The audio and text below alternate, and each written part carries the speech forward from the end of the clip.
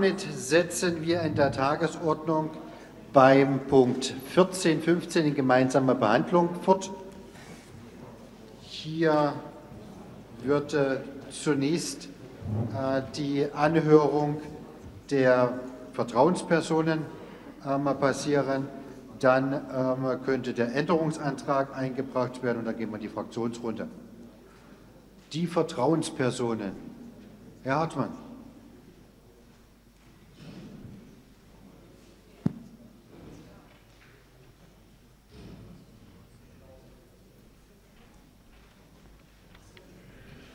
Sehr geehrter Herr erster Bürgermeister, meine sehr geehrten Damen und Herren Stadträte,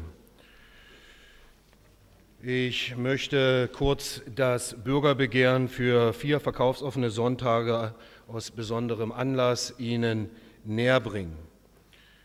Wie ist die Situation? Chemnitz, SPD-regierte Oberbürgermeisterin, drei verkaufsoffene Sonntage. Leipzig, SPD regiert vier verkaufsoffene Sonntage, Zwickau, Radeberg, Auerbach, Markleberg, Torgau. Und das sind nur die Städte, in denen die SPD die Verantwortung hat. In fast allen, nein, in allen sächsischen Mittelzentren gibt es verkaufsoffene Sonntage. Und warum ist das so? Das liegt daran, dass diese Städte nicht nur eine touristische Bedeutung haben, sondern dass sie auch eine Oberzentrenfunktion für das Umland ausüben. Und dieser Verantwortung ist Dresden über viele Jahre gerecht geworden. Wohlgemerkt aus besonderem Anlass auf vier im Jahr beschränkt, insbesondere auch mit Blick auf die Adventszeit, weil es auch schwer zu erklären ist, warum die Weihnachtsmärkte geöffnet, aber die Geschäfte geschlossen sind. Im letzten Jahr gab es eine veränderte Situation. Die Stadt Dresden, die Verwaltung hat eine Vorlage mit vier verkaufsoffenen Sonntagen eingebracht. Es gab eine Diskussion auf die Reduzierung auf zwei verkaufsoffene Sonntage, die insbesondere von der Fraktion Die Grünen geführt worden ist. Und das Ergebnis waren am 12. Dezember keine verkaufsoffenen Sonntage in der Landeshauptstadt Dresden.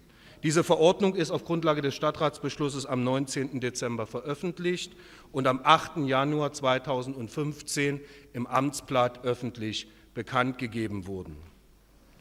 Das war der Grund, warum wir darüber nachgedacht haben, als Einreicher und mit der Gründung des Bürgerstimme e.V.s und mit vielen Unterstützern unseres Themas angenommen haben, darüber zu diskutieren und ein Begehren anzuschreiben, in dem die Dresdnerinnen und Dresdner die Möglichkeit haben, sich dann selbst zu entscheiden, ob sie verkaufsoffene Sonntage in Dresden wollen oder nicht.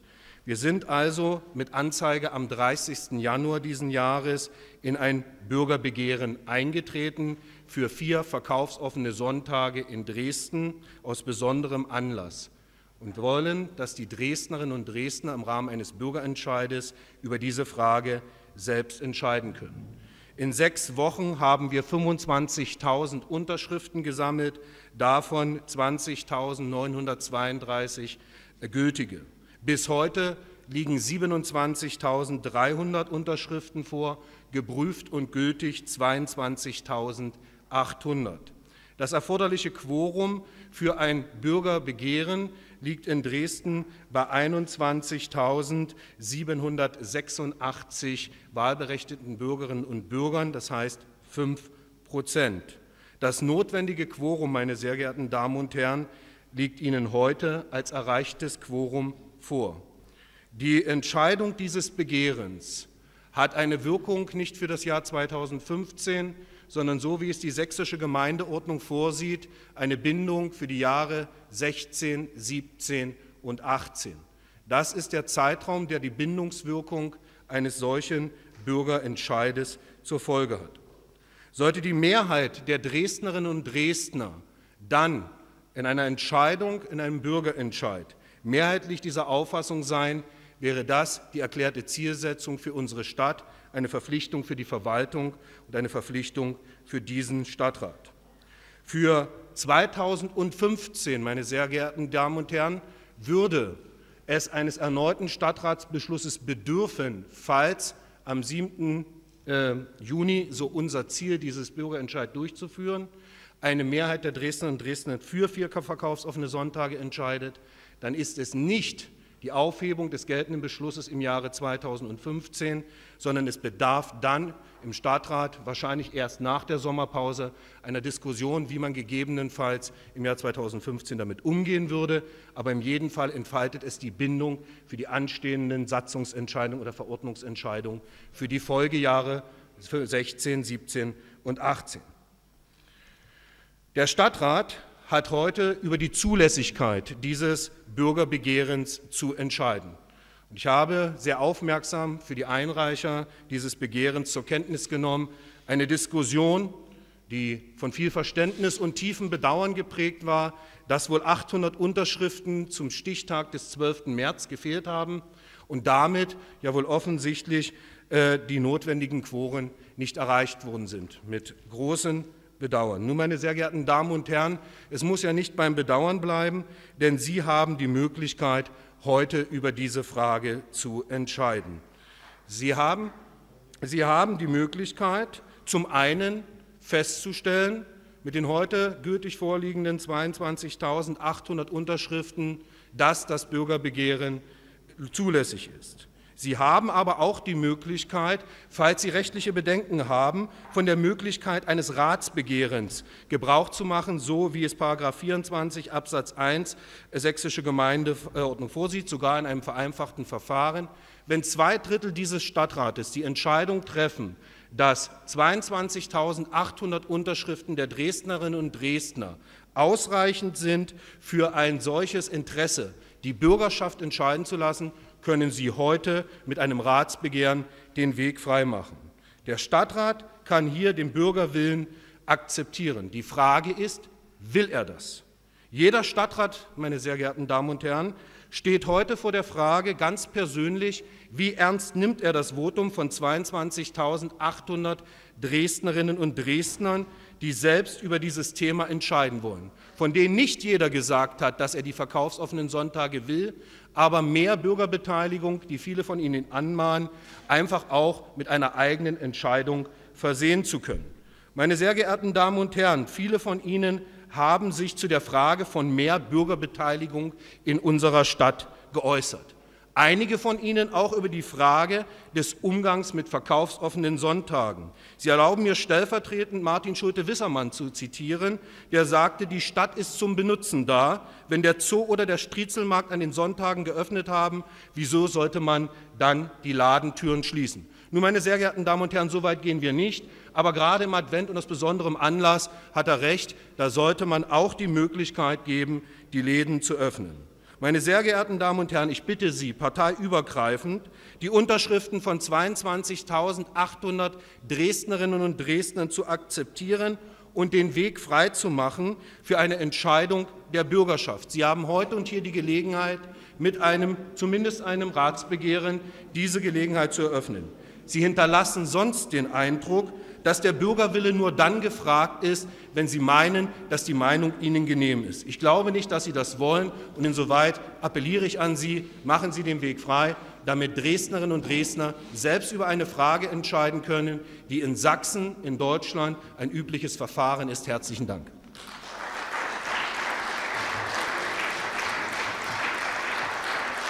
So wird von den Einreichern des Änderungsantrages noch gewünscht, den vorzustellen?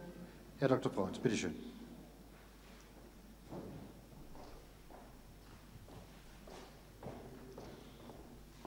Herr erster Bürgermeister, meine Damen und Herren, ich bringe den Änderungsantrag von CDU und FDP äh, ein, äh, der, insofern kann ich mich kurz fassen, dem Rechnung tragen soll, was Christian Hartmann hier als Sprecher äh, des Vereins vorgetragen hat, um diesen Weg freizumachen. Und deswegen bitte ich Sie, in dem Punkt 2 eine kleine Änderung äh, vorzunehmen, die wir hiermit äh, einbringen, und zwar indem Sie anstelle der Worte des Beantragten eines Bürgerentscheides äh, schreiben, dass die, die Ziffer 2 unseres Änderungsantrages lautet, da ich lese es vor, der Stadtrat beschließt die Durchführung eines Bürgerentscheides für vier stadtweite verkaufsoffene Sonntage im Jahr und bestimmt als Tag des Bürgerentscheids den 7. Juni 2015. Meine Damen und Herren, wenn diese Ziffer 2 eine Mehrheit von zwei Dritteln in diesem Hause erreicht, dann ist es ein stadtratsinitiiertes Bürgerbegehren und es würde den Fragen, die einige von Ihnen auf der linken Seite äh, zum Problem gemacht haben, dass es sich hier äh, um ein kassatorisches Bürgerbegehren handeln äh, könnte und nun, ähm, wenn man zustimmen würde, rechtswidrig handeln würde, ihren rechtlichen Gewissensbissen, ich werde dann nachher noch mal sagen, dass die sicher, äh, dass sie diese nicht haben müssen, aber den kann man einfach dadurch umgehen, dass man sagt, nehmen wir als Stadtrat die Sachen selbst in die Hand, beschließen wir dieses Bürgerbegehrens, lassen Sie uns die Zweidrittel ähm, äh, hier erreichen, damit, und ich wiederhole das, der Bürger über diese Frage entscheiden kann, dass nicht Gerichte hierüber entscheiden, sondern das, worauf Sie auf der linken Seite immer ganz besonderen Wert legen, nämlich die Bürgerbeteiligung an erster Stelle. Wenn Sie dem nicht gehen, wissen wir, wie Sie es meinen. Deswegen meine Bitte, stimmen Sie dem Änderungsantrag, äh, so wie er vorliegt, zu. Ich darf jetzt schon ankündigen, Herr Erster Bürgermeister, dass wir bitte den Punkt 1 und die Punkte 2 fortfolgende jeweils getrennt abstimmen. Also ein Block, zwei fortfolgende und eins getrennt, ähm, damit das auch so passieren kann, wie ich es eben dargestellt habe. Vielen Dank. So, wir steigen ein in die Fraktionsrunde. Es beginnt die SPD-Fraktion, Herr Dr. Lames.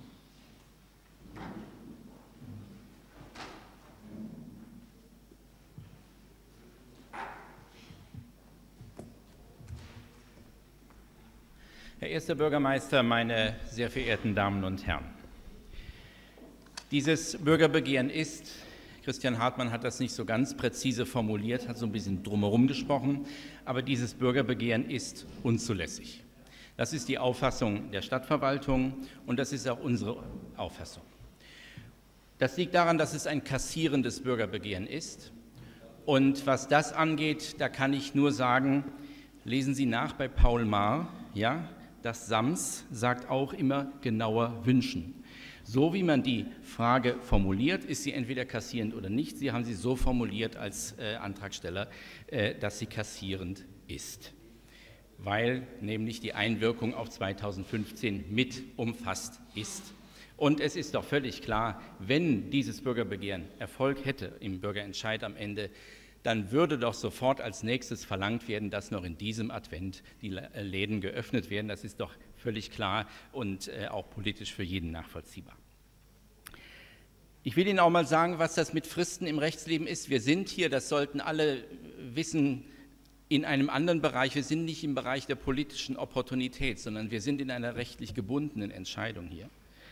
Und ähm, ich hatte selbst mal in anderer, in anderer Situation, äh, hatte ich mal ein Rechtsmittel, das einzulegen war bis zum 30.10.0 Uhr. Und eingegangen ist es per Fax am 31.10. um 0 Uhr 2. Wir haben es als unzulässig verworfen. Das ist so. Und ich würde es Ihnen nicht sagen, wenn nicht der Bundesgerichtshof das genau als richtig angesehen hätte. Und an den zwei Minuten hing es, so ist das mit Fristen im Rechtsleben, die sind dann zwingend und dann kommt man nicht dran vorbei. Und hätten wir es nicht verworfen und hätten wir es behandelt, dann wäre es falsch gewesen und hätten wir es sehenden Auges falsch gemacht, dann wäre es eine Rechtsbeugung gewesen. Dafür kriegt man Freiheitsstrafe mindestens ein Jahr und mit Rechtskraft, mit Rechtskraft der Verurteilung ist das Amt automatisch weg. Das ist die Wirkung von Fristen im Rechtsleben und so ist es nun mal. Zum Zweiten, die Zweidrittelmehrheit. In der Tat, die könnte man herstellen hier, um einen, äh, ein sogenanntes Ratsbegehren herbeizuführen. Jetzt gucke ich mal, was in dieser Stadt seit 1990 schon alles geschehen ist ohne Ratsbegehren. Da sind die Stadtwerke fast zur Hälfte verkauft worden, ohne Ratsbegehren. Da sind die Stadtwerke fast zur Hälfte dann wieder zurückgekauft worden, auch ohne Ratsbegehren. Da ist der Komplettumbau des Kulturpalastes beschlossen worden, ohne Ratsbegehren. Da ist Kraftwerk Mitte auf den Weg gebracht werden, ohne Ratsbegehren.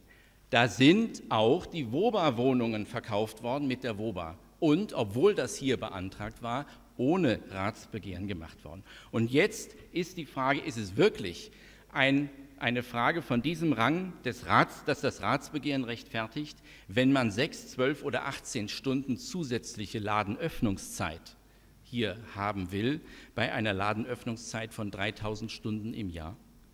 Also das ist ähm, sicher nicht mit dem Gewicht. Und dann liegt es auch noch an, an der Fragestellung. Da muss man mal ganz deutlich sagen, dieses Bürgerbegehren klärt letztlich gar nichts. Es klärt gar nichts. Denn da wird Bezug genommen auf den Fall, dass die Sonntagsladenöffnung in rechtlichem Umfang zulässig ist. Und das ist wiederum eine Entscheidung, die vollständig dann der Stadtrat zu treffen hat, die also die gesamte Problematik, um die ja auch gestritten wird, wieder in den Stadtrat zurückverlagert. Wir haben bis heute eine ausgesprochen umstrittene Rechtslage im Freistaat Sachsen. Und sie kommt nur deswegen auch nicht zu einer Klärung, weil äh, insbesondere klageberechtigte Verbände, also Gewerkschaften und andererseits die Kirchen gesagt haben, wir dulden bis zu vier Sonntage und klagen dann nicht im Jahr. Aber die Rechtmäßigkeit ist überhaupt nicht äh, festgeschrieben auf diese Weise. Das heißt, der komplette Streit würde, auch wenn das so beschlossen würde, wieder in den Stadtrat verlagert. Das ist eine Entscheidung, die die Stadt nun wahrlich nicht äh, voranbringen würde. Wer hier nämlich als Bürger auftritt, und das ist es, das sind zwei Parteivorsitzende, die ein zusätzliches Mittel der Opposition wollen. Und das ist auch nicht tauglicher Gegenstand eines Ratsbegehrens zur Klärung einer wirklich fundamentalen Frage.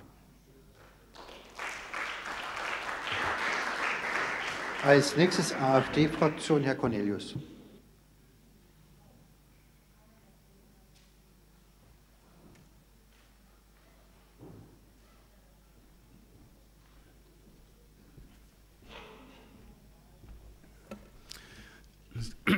Sehr geehrter Herr Erster Bürgermeister, sehr geehrte Damen und Herren,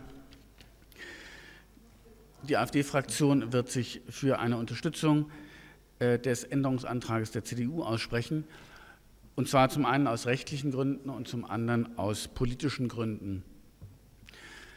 Was Sie, Herr Dr. Lames, eben bei den Ausführungen zur, zu den Fristen ähm, unterstellt haben oder als, als unproblematisch gegeben angesehen haben, ist ja die Frage, ob es hier wirklich um ein kassatorisches äh, Begehren handelt oder einen kassatorischen Bürgerentscheid, der auf das Begehren hin folgte.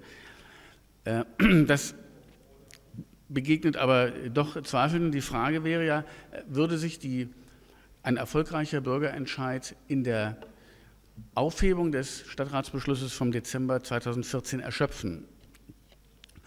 Das ist aber nicht der Fall. Vielmehr wird erst durch einen erfolgreichen Bürgerentscheid die Gestaltungsmöglichkeit, die Option, zusätzliche Rechtsfolgen durch Zulassung äh, zusätzlicher Öffnungszeiten zu schaffen, von dem Bürgerentscheid herbeigeführt.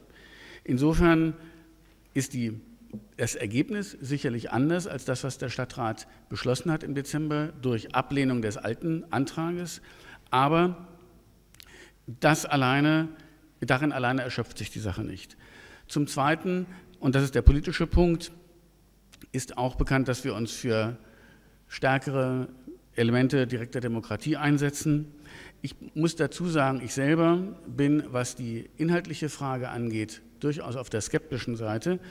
Ähm, ich könnte auch mit weniger als vier äh, offenen äh, Sonntagen leben, aber Gleichwohl halte ich es für richtig, ein, bei einem Thema, das offensichtlich doch so viele Dresdner bewegt, dass sie dafür so viele Unterschriften ähm, gesammelt haben, äh, abgegeben haben, die das Quorum sogar in der kurzen Frist von drei Monaten fast ganz erreicht haben, dass es dann politisch die richtige Entscheidung ist, diese Entscheidung auch durch den Bürger treffen zu lassen.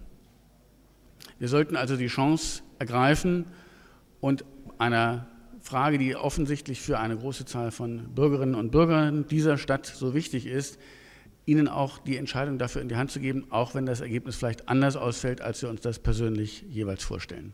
Dankeschön. FDP-Fraktion, Herr Zastrow.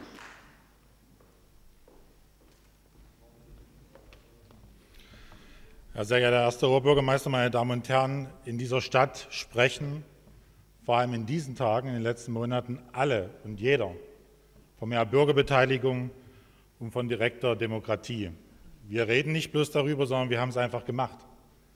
Wir haben es getan zu einem Thema, was die Menschen bewegt und was Jahr für Jahr zu hochemotionalen Debatten hier in diesem Stadtrat geführt hat und wo wir gesagt haben, auch weil die Abstimmung hier immer sehr knapp gewesen ist, dass wir diese Entscheidung in die Hände der Bürgerinnen und Bürger legen wollen. Wir haben deswegen in einer überparteilichen Initiative als FDP zusammen mit CDU, aber eben auch großen, wichtigen gesellschaftlichen Kräften im City-Management, der Industrie- und Handelskammer, Handelsverband, Tourismusverband, DEHOGA und auch den freien Bürgern gemeinsam darum gekämpft, um in einer schnellen Zeit die notwendigen Unterstützungsunterschriften zu sammeln.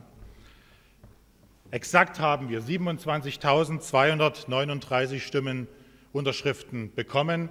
Die Stadtverwaltung hat bis zum gestrigen Abend davon genau 22.822 als gültig anerkannt. Damit haben wir zum heutigen Zeitpunkt fast genau 1000 Stimmen mehr, als wir für das gesetzlich vorgegebene Quorum benötigen würden. Noch niemals zuvor sind in dieser Stadt so viele Stimmen in so kurzer Zeit bei einem Bürgerbegehren gesammelt worden. Genau das gibt uns die Chancen, genau deswegen sind wir auch so schnell gewesen, am 7. Juni, dem Tag der Oberbürgermeisterwahl, eben nicht nur über ein neues Stadtoberhaupt abzustimmen, sondern die Bürgerinnen und Bürger mit zu befragen, ob sie an den vier Sonntagen stadtweit öffnen wollen oder eben auch nicht. Das ist doch sehr praktisch. Das kostet die Stadt auch gar nicht mal mehr Geld. Warum nutzen wir das nicht? Die Menschen sind sowieso an die Wahlurne gerufen. Nutzen wir die Chance und zeigen wir, was wir tatsächlich als Stadtrat von echter Bürgerbeteiligung halten, meine Damen und Herren.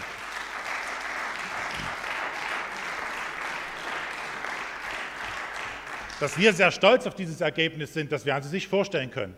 Denn aus unserer Sicht manifestiert es zwei Dinge. Erstens, dass wir tatsächlich ein Thema, Herr Dr. Lames, gefunden haben, was doch komischerweise eine Menge Menschen in dieser Stadt interessiert. Und zweitens, das ist noch viel wichtiger, wie hoch das Interesse an mehr Mitbestimmung und mehr Mitsprache in Wirklichkeit in dieser Stadt ist. Und meine Damen und Herren, das sollten wir alle respektieren und nicht irgendwie versuchen, dem auszuweichen.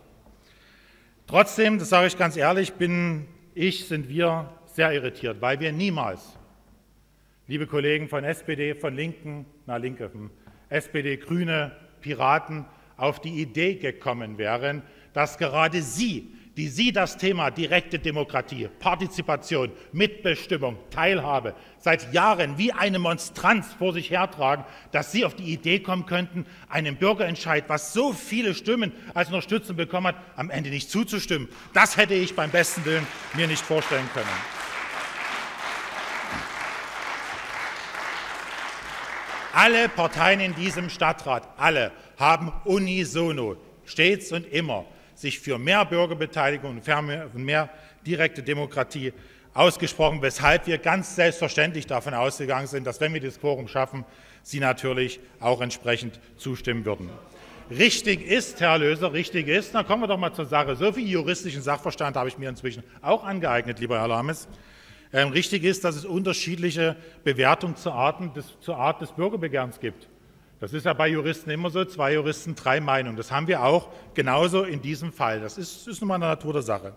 Die Stadtverwaltung hält unser Bürgerbegehren für kassatorisch. Ich weiß bis heute nicht, wieso. Ich habe es aus der Zeitung erfahren, durch einen Anruf eines Journalisten. Anderthalb Wochen später kriegte ich von Herrn Sittel äh, ein Schreiben, wonach drin stand, ja, wir halten es für kassatorisch. Warum, wurde noch nie gesagt. Wir halten es, meine Damen und Herren, und viele andere Juristen in dieser Stadt übrigens ganz genauso, eben für nicht kassatorisch, weil, wie es gesagt wurde, unser Bürgerentscheid sich an die Jahre 2016, 2017, 2018 äh, widmet. Und, und, meine Damen und Herren, das steht genauso drin. Und noch niemals haben wir in dieser Stadt über die Sonntagsöffnung in den Jahren 2016, 2017 oder 2018 gesprochen. Da sind wir uns doch wohl einig. Meine Damen und Herren, ein Bürgerbegehren durchzuführen ist richtig kompliziert. Deswegen hat der Gesetzgeber etwas ganz Einfaches gemacht. Er hat nämlich gesagt, ein Bürgerbegehren ist noch keine Wahl. Deswegen gibt er uns, Sie haben es Opportunität genannt, Deswegen gibt er uns die Möglichkeit, als Stadträte frei darüber zu entscheiden, ob wir es für kassatorisch halten, ob wir es für zulässig halten, ob wir ihm trotzdem auf dem Weg halten. Weil es eben genauso kompliziert ist, können wir das machen. Es ist am Ende eine Frage, wie Sie es bewerten. Und Sie selbst, meine Damen und Herren, haben es schon getan, nämlich damals vor drei Jahren bei dem Bürgerbegehren, was Sie selbst zu den Krankenhäusern angestoßen haben. Heute ist Ihnen die juristische Einschätzung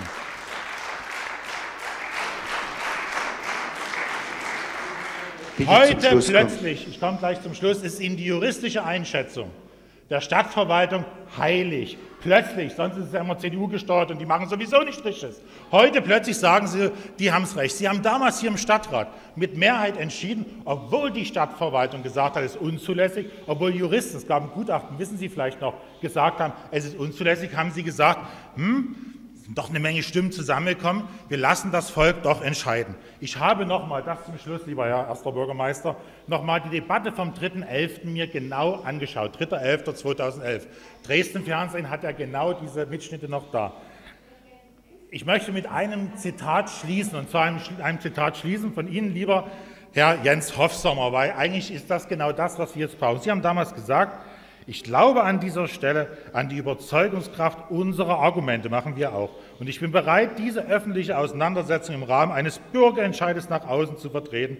Und wir werden sehen, wie die Bürgerinnen und Bürger dieser Stadt zu diesem Thema entscheiden. Und diesen Mut sollten wir haben, einzugehen. Und deswegen werden wir uns heute nicht es unzulässig sein sollte, nicht gegen die Zulässigkeit aussprechen, sondern das Bürgerbegehren unterstützen im klaren Vertrauen auf unsere Argumente. Genauso stehen wir heute auch hier. Bitte stimmen Sie uns zu, geben Sie sich einen Druck.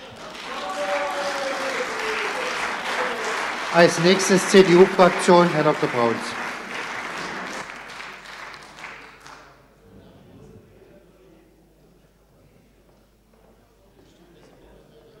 Herr erster Bürgermeister, meine Damen und Herren, ich will auf das, hatte ich ja schon angekündigt, äh, noch mal eingehen, weshalb äh, wir denken, in der Tat, es ist kein kassatorisches Bürgerbegehren.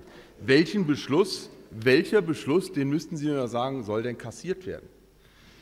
Der Beschluss, der Beschluss, den wir gefasst haben im Dezember letzten Jahres, heißt, ich habe es mir extra noch mal raussuchen dann. Alle Verkaufsoffenen dürfen von 12 bis 18 Uhr öffnen, am Sonntag, den 6. Dezember und so weiter.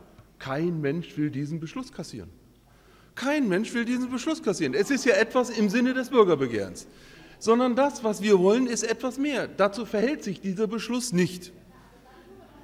Die Verwaltung hat, die Verwaltung hat, das hat sie erkannt, dann in der Begründung zur Antragsfrist gesagt, ja, die Verwaltungsvorlage war ja mehr.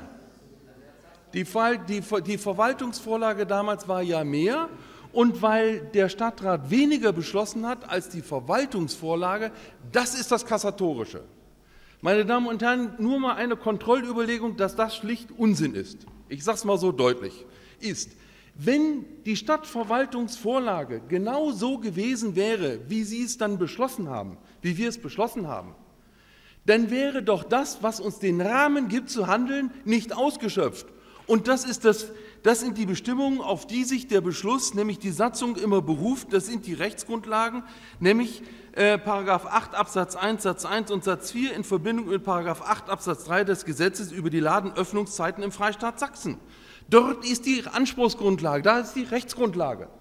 Und jede, mit dieser Logik würde dann sein, jeder Stadtratsbeschluss, der hinter der Ermächtigung zurückbleibt, egal ob wir ihn dann hundertprozentig von der Verwaltung beschließen oder nicht, würde dann ja nach dieser Logik behaupten, dass wir etwas kassieren. Wir kassieren aber etwas, was stadtseitig gar nicht da ist, sondern, und das ergibt sich dann aus der Gemeindeordnung, es ist nur dann kassatorisch, wenn wir einen Stadtratsbeschluss kassieren. Den gibt es hier nicht, meine Damen und Herren. Und das ist der Hintergrund, weshalb es hier mitnichten kassatorisch ist. Äh, und Herr Dr. Lames, das ist eben der Punkt. Da fällt Ihre Argumentation eben äh, zusammen. Es ist nicht kassatorisch. Und deswegen haben wir ein Jahr lang Zeit, äh, beziehungsweise der Verein Unterschriften zu sammeln. Sie sind jetzt da, meine Damen und Herren.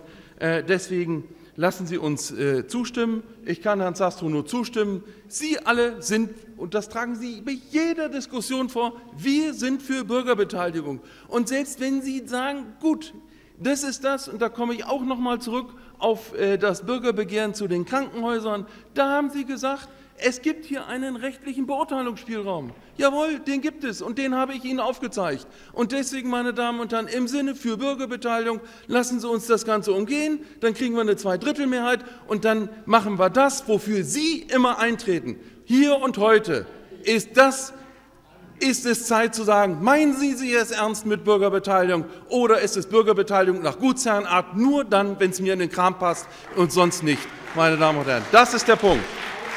Vielen Dank. Als nächstes Fraktion Die Linke, Herr Scholbach, bitte.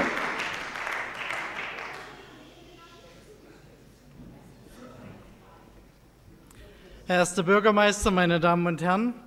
Der Stadtrat hat am 12. Dezember mit den Stimmen von Linken, Grünen, SPD und Piraten eine wichtige Entscheidung getroffen. Wir haben der ausufernden Kommerzialisierung Grenzen gesetzt und im Sinne der Sonntagsruhe entschieden.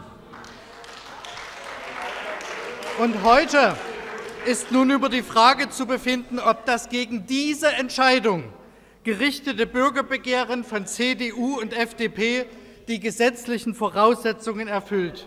Ist dies der Fall, dann hat ohne Wenn und Aber ein Bürgerentscheid stattzufinden. Und wenn nicht, dann muss ohne Wenn und Aber die Unzulässigkeit des Begehrens festgestellt werden.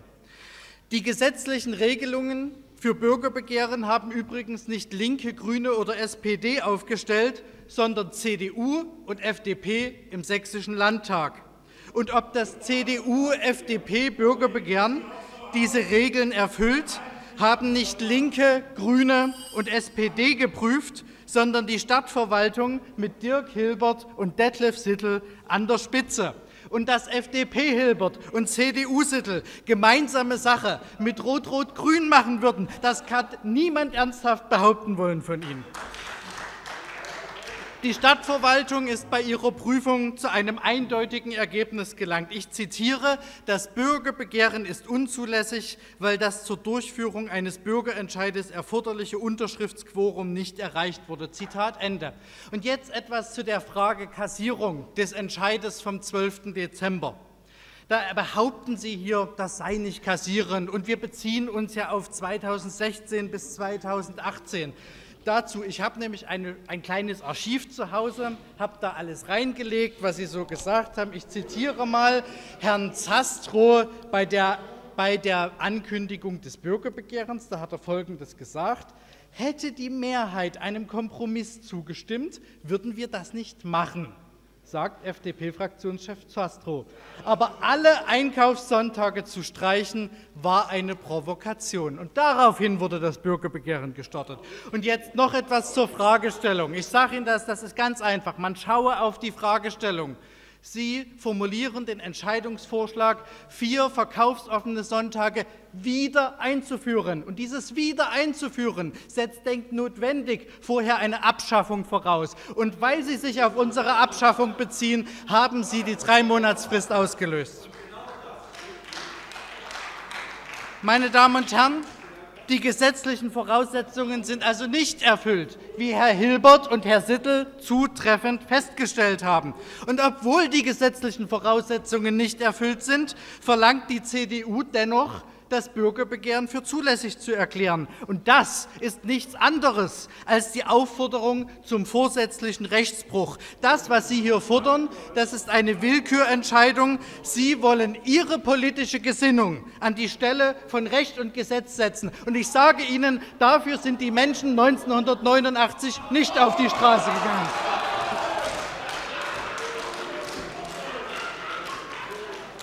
Das scheint bei der CDU 25 Jahre nach der Wende etwas in Vergessenheit geraten zu sein.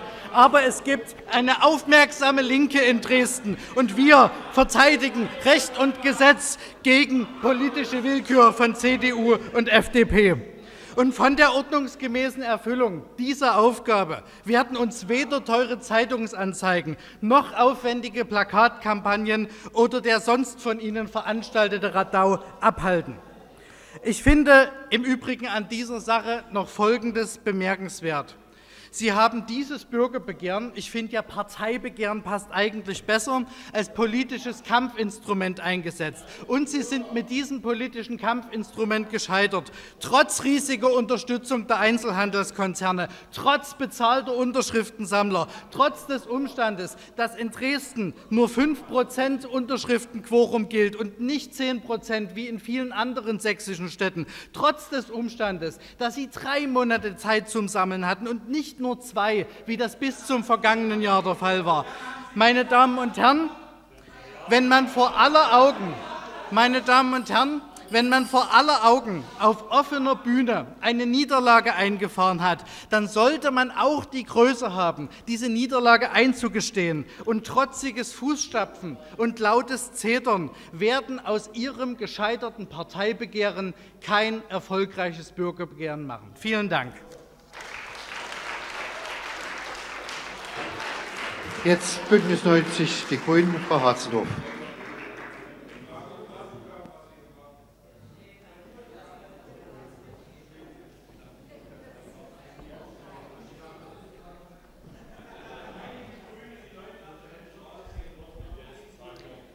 Sehr geehrter Herr Bürgermeister, sehr geehrte Kolleginnen und Kollegen, sehr geehrte Gäste.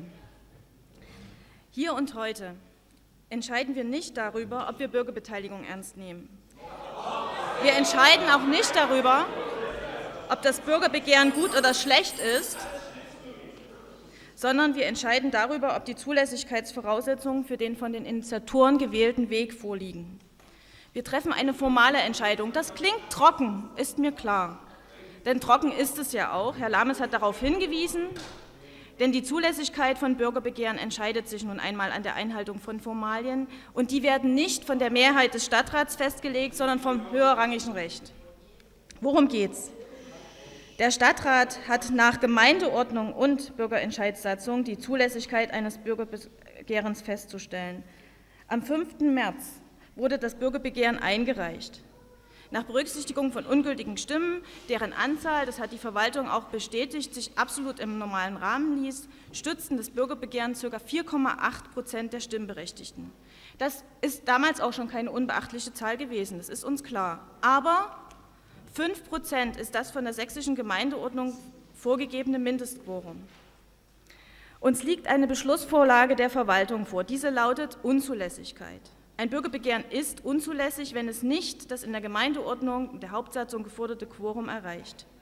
So steht es nicht nur in der Verwaltungsvorlage, so steht es auch in der Bürgerentscheidssatzung. Ein Entscheidungsspielraum ist da nicht. Das ist eine sogenannte gebundene Entscheidung, es wurde schon gesagt. Es steht nicht kann oder soll oder grundsätzlich, sondern da steht ist unzulässig. Für das Erreichen des Quorums ist der Tag der Einreichung des Bürgerbegehrens entscheidend, nicht die Entscheidung des Stadtrats. Darauf weist die Verwaltungsvorlage mit Verweis auf Gesetz hin, auf die sächsische Gemeindeordnung und auch auf die juristischen Standardkommentare. Wenn wir heute entscheiden würden, es wurde auch schon gesagt, dass uns eben 4,8 Prozent zum Stichtag ausreichen, würde die Landesdirektion nicht sagen, ja, lieber Dresdner Stadtrat, wir verstehen, dass euch Bürgerentscheide nun mal so wichtig sind, sondern sie würden das als offensichtlichen Verstoß gegen höherrangiges Recht beanstanden. Sie, liebe Kolleginnen von CDU und FDP, werfen uns heute vor, dass wir diese recht, eindeutig rechtliche Einschätzung nicht über Bord werfen. Sie werfen uns vor, dass wir dem Verwaltungsvorschlag folgen. Den Vorwurf verbinden Sie wohlweislich nicht mit dem Vorwurf, dass wir uns damit nicht an Recht und Gesetz halten. Sie wissen nämlich genau, dass wir rechtmäßig handeln. Und jetzt komme ich zu dem, was man zumindest doch als Kunstgriff bezeichnen kann weil es nämlich keinerlei Anhaltspunkt im Bürgerbegehren findet. Und äh, Herr Zastrow, dass Sie sagen, das Begehren richtet sich gar nicht gegen einen Stadtratsbeschluss, der die Sonntagsöffnung in Dresden veränderte. Somit sei für die Ermittlung des erforderlichen Quorums gar nicht der äh, Einreichungstag entscheidend. Herr, Hartmann, Herr Hartmann hat heute ausgeführt, dass natürlich der Stadtratsbeschluss und die darauf basierende Veröffentlichung der Verordnung der Grund für die Initiierung des, Bürgerbe des Bürgerbegehrens war.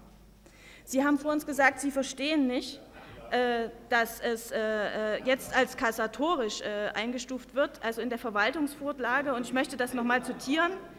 Gegen einen Gemeinderatsbeschluss ist ein Bürgerbegehren bereits dann gerichtet, wenn es, wie hier im Ergebnis, auf eine andere Sachentscheidung als vom Gemeinderat beschlossen hinausläuft.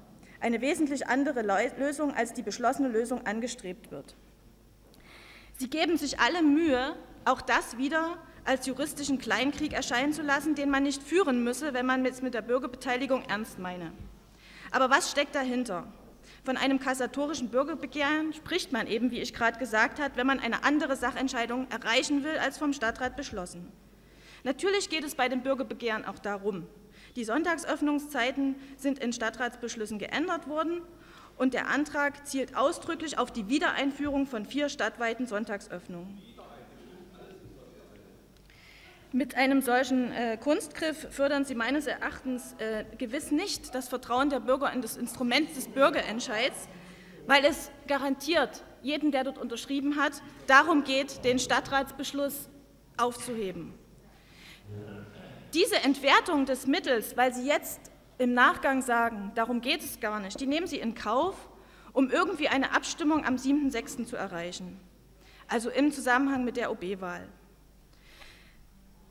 Es bleibt noch die Variante, es wurde schon mehrfach gesagt, einen Bürgerentscheid per Ratsbeschluss mit Zweidrittelmehrheit zu initiieren.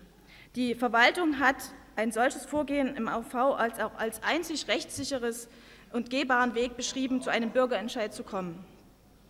Aber ein solches Ratsbegehren ist eben auch kein Vehikel, nicht erreichte äh, Formalien für unbeachtlich zu erklären, sondern einen eigenständigen Beschluss in der Sache. Und über einen solchen kann man tatsächlich noch reden, wenn es Ihnen tatsächlich um, um in ferne Zukunft gerichtete Sonntagsöffnungen geht. Herr Lames hat es bereits gesagt, man könnte dort auch über eine oder müsste im Rat über eine eigentlich klärende Sachfrage reden, die man zur Grundlage eines Ratsbeschlusses macht. Wir halten es auch nicht für eine Geldverschwendung, wenn in Dresden Bürgerentscheide unabhängig von Wahlen durchgeführt werden, also zu einem späteren Zeitpunkt. Und ich bin auch optimistisch, was die Zukunft von Bürgerbeteiligung mit rot-grün-roter Stadtratsmehrheit angeht. Wir haben erstmals eine Bürgerbeteiligungssatzung für Dresden geplant und dies steht auch in der Hauptsatzung. Daran werden Sie uns messen können. Vielen Dank. So, damit wäre die Fraktionsrunde durch. Als nächstes Fraktionslose Herr Bauer.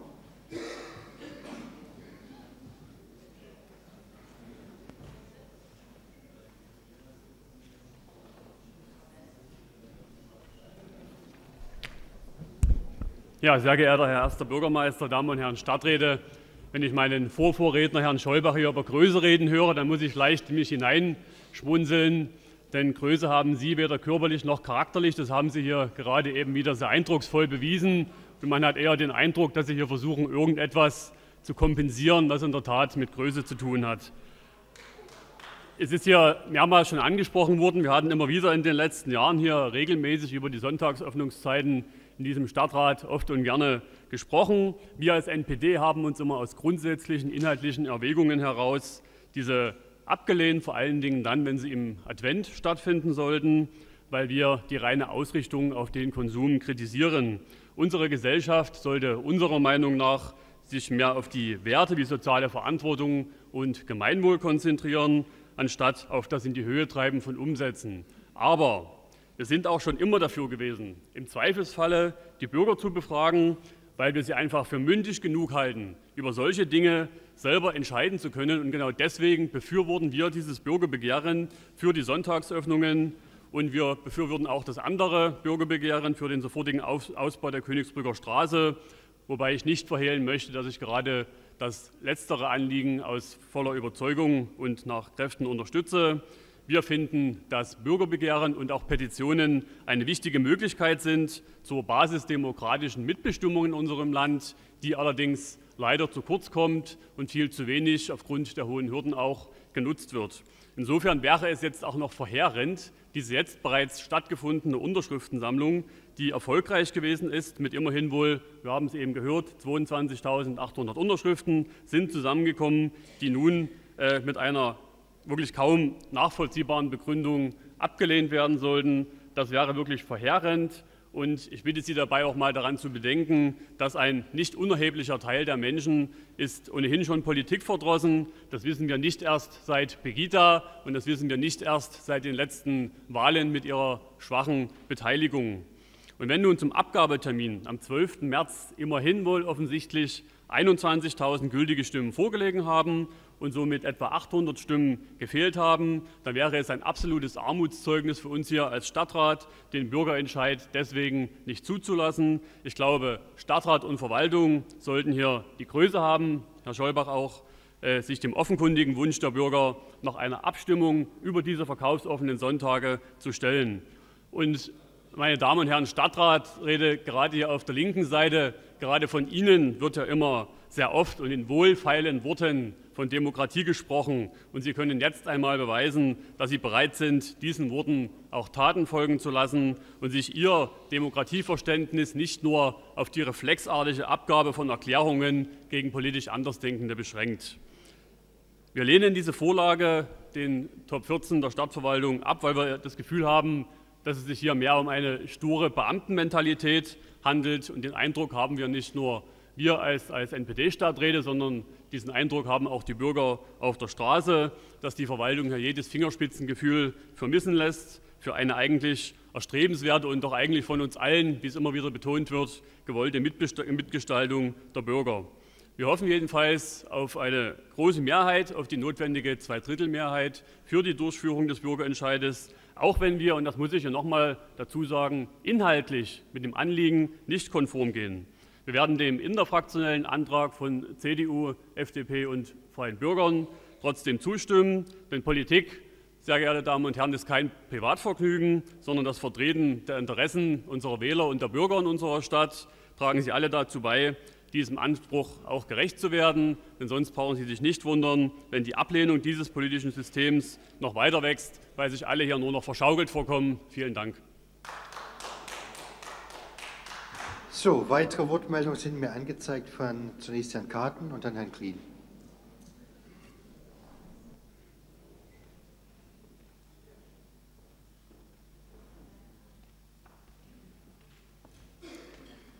Sehr geehrter Herr erster Bürgermeister, meine sehr geehrten Damen und Herren, ich habe mir das Ganze jetzt eine Weile angesehen und ich habe eine ziemliche Säbelfechterei erlebt, juristisch ausgeprägt, unverständlich. Ähm, ich habe den Einheizer Schollbach erlebt, bei dem offensichtlich die Nerven so blank liegen, dass er sich hier in einer Art und Weise zeigt, wo ich mir die Frage stelle, wie wirkt das eigentlich auf all die Leute, die ich in meinem Bekannten- und Verwandtenkreis kenne, die das vielleicht am Internet mitverfolgt haben, die morgen die Zeitung lesen und sich die Frage stellen, wie wird eigentlich hier in diesem Rat äh, über gesammelte Stimmen für ein Bürgerbegehren gesprochen? Und ich habe da ab und zu mal hier rüber geschaut und Herr Scholbach, Sie sitzen dann hier vorne und bei Argumenten, die Ihnen nicht passen, dann sitzen Sie da, Sie feixen. Einige hier in der ersten Reihe zeigen den Vogel, greifen sich an den Kopf in einer Art und Weise, wo ich mich schon frage, ist das angemessen? Ist das sinnvoll?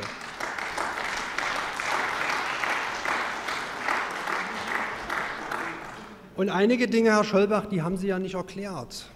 Sie haben hier immer wieder die Verwaltungsvorlage, die eine juristische Ausprägung mitbringt, immer wieder vor sich hergeschoben, haben gesagt, wenn das in der Verwaltungsvorlage so drinsteht, muss man dem juristischen, dieser juristischen Einschätzung zwangsläufig folgen.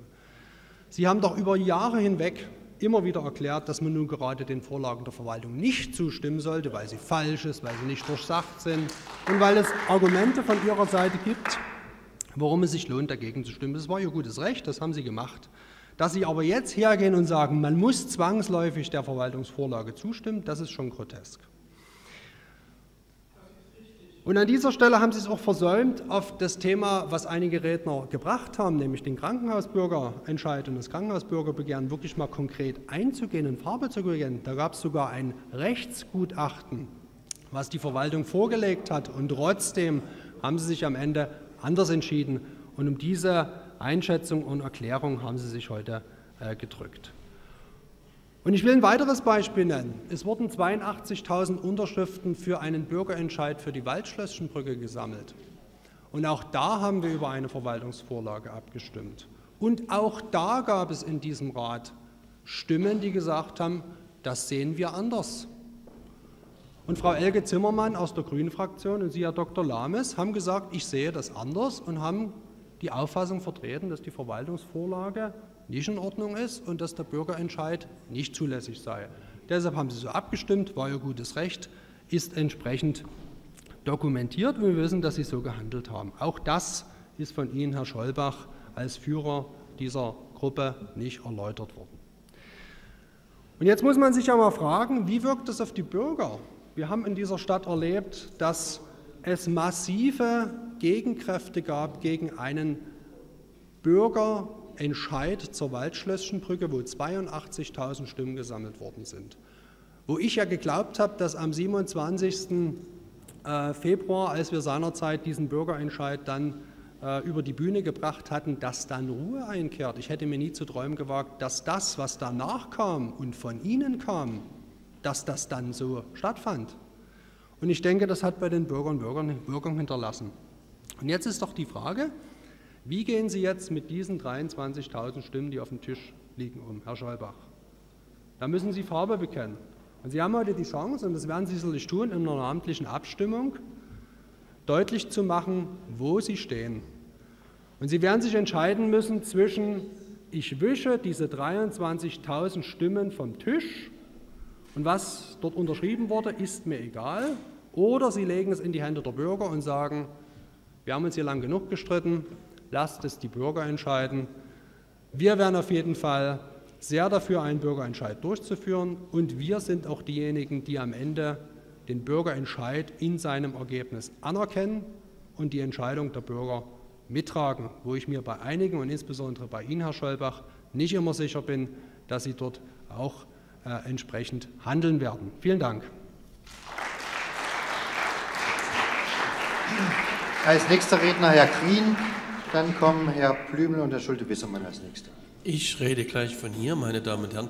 Äh, es wird den wenigsten, vielleicht auch niemandem von Ihnen aufgefallen sein, dass ich vorhin genannt worden bin, dass die NPD vorhin genannt worden ist und zwar in der Rede von Herrn Dr. Lames. Herr Dr. Herr. Lames ist ein sehr konzentrierter Kollege bekannt, der also immer gut zuhört und richtig, er hat also eine ganze Argumentationskette gebracht, was für Ratsbegehren denn hier alles schon angeschoben worden sind. Ja, Herr Dr. Lames, Sie haben recht, es gab auch zur zur Wohnwober-Verkauf einen Antrag auf Ratsbegehren und genau diesen Antrag auf Ratsbegehren hat damals das Nationale Bündnis eingebracht. Ich selber habe ihn hier vorgestellt. Dankeschön, dass Sie es nach neun Jahren noch wussten.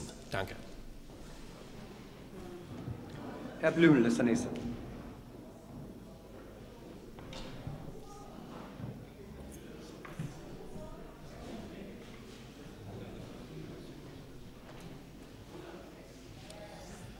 Sehr geehrter erster Herr Bürgermeister, liebe Kolleginnen und Kollegen, wir haben jetzt ganz viel moralisierende Dinge gehört.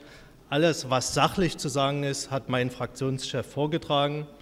Es gibt eine Sachentscheidung zu treffen und die muss so ausfallen, wie sie ausfällt.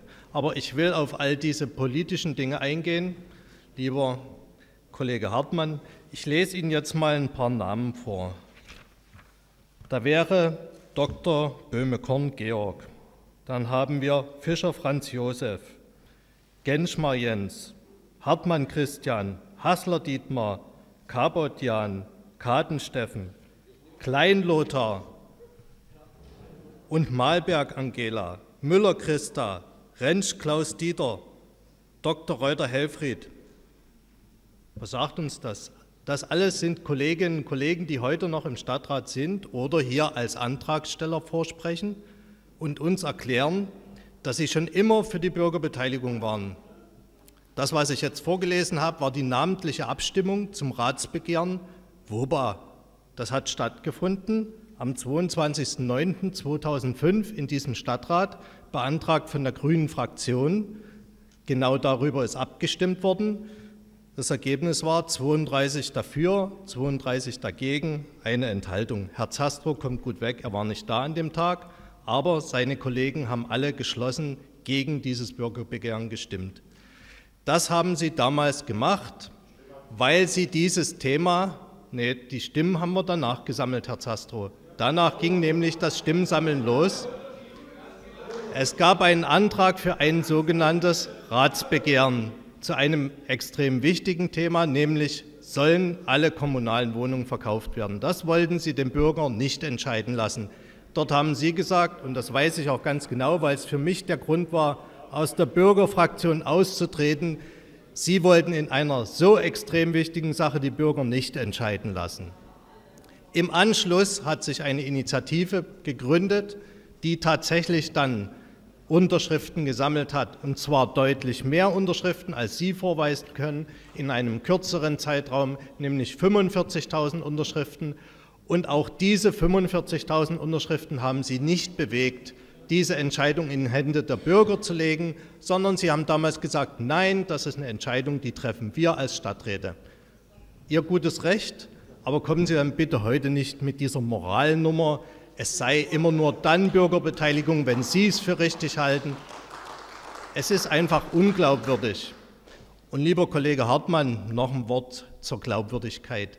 Wir als linke Seite haben das Quorum, was damals noch bei 15 Prozent hier in Dresden war, abgesenkt. Die CDU mit Ihnen hat dagegen gestimmt. Im Moment läuft im Landtag in Sachsen eine Debatte darüber, ob man das Quorum für Sachsen absenkt. Da habe ich ein sehr interessantes Interview gehört mit Herrn Hartmann. Da hat er gesagt, nein, das wollen wir nicht, denn es kann ja nicht sein, dass in Zukunft Minderheiten darüber bestimmen, was Themen sind, die die Mehrheit dann auszuführen hat.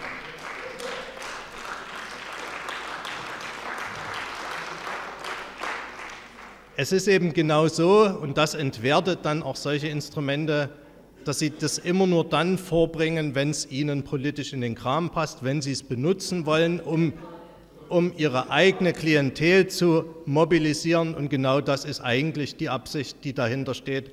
Und deswegen, glaube ich, ist all diese Moralgeräte hier überflüssig. Wir haben eine Sachentscheidung zu treffen, die treffen wir.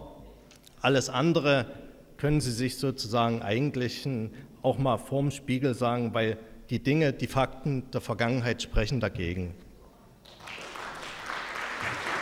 Als nächster Redner Herr Schulte-Wissermann und dann Herr Abenarius.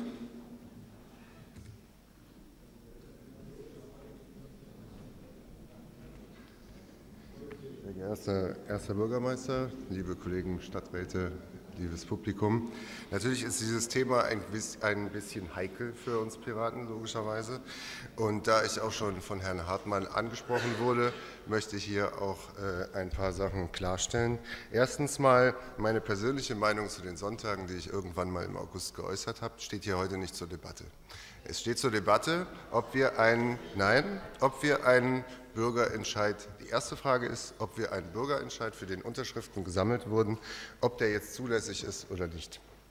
Und da sage ich, knapp daneben ist auch vorbei.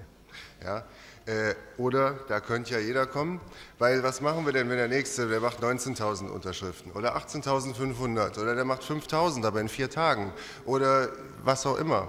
Äh, die Frist war vorbei, da waren nicht genügend Unterschriften da, das ist es. Punkt. So, nichtsdestotrotz muss man natürlich festhalten, dass die ganze Aktion schon sehr professionell durchgezogen war. Also Herr Zasso, Sie sind ja wirklich ein PR-Fuchs. Also noch hier der, äh, im Dezember im Stadtrat schon ein Bürgerentscheid angekündigt zu haben und jetzt zu sagen, ich habe ja niemals behauptet, dass das kassatorisch ist, äh, ist eigentlich schon äh, geschickt. So, dann die ersten Wochen von, dem, von der Unterschriftensammlung haben Sie ja immer gesagt, wir werden diesen äh, Stadtratsbeschluss kippen. Wir werden das jetzt mit der Bürgerentscheidung machen. Wenn wir eins können, dann ist das Bürgerentscheid. Ja, nur mal kurz, es heißt auch Bürgerentscheid und nicht Einkaufszentrenentscheid. Ne? Wenn man nämlich da durch den Elbepark gegangen ist oder durch, äh, durch die Altmarktgalerie, diese ganzen äh, Bürger, meistens schick, studentisch, 23 Jahre, ähm, die dann mit den Listen einem hinterhergerannt sind. Der Elbepark-Besitzer hat doch selber gesagt, der hat 25.000 Euro da reingesteckt. Also äh, da muss man doch mit 25.000 Euro mehr als 21.000 Unterschriften zusammenkriegen. Also... Deswegen knapp daneben ist auch vorbei, das kann man nicht machen. Eine andere Sache ist die Sache mit dem Ratsbegehren. So, jetzt nicht unbedingt vielleicht für die Sache, aber wenn Sie das wirklich alle ernst meinen und wenn wir das auch alles ernst meinen, könnte man ja darüber nachdenken, dass wir verschiedene Fragen von Relevanz und Rang äh, zusammenfassen und uns, sage ich mal, dann einen Termin überlegen und dann diese, äh, diese Sachen öffentlich diskutieren in Einwohnerversammlungen, in Parteiversammlungen, in der Zeitung und dann eine Abstimmung machen. Das kann ich mir sehr gut vorstellen. Das ist sinnvoll. Ähm, ja, das war's. Danke. So, jetzt Herr Avenarius, dann Herr Zastro.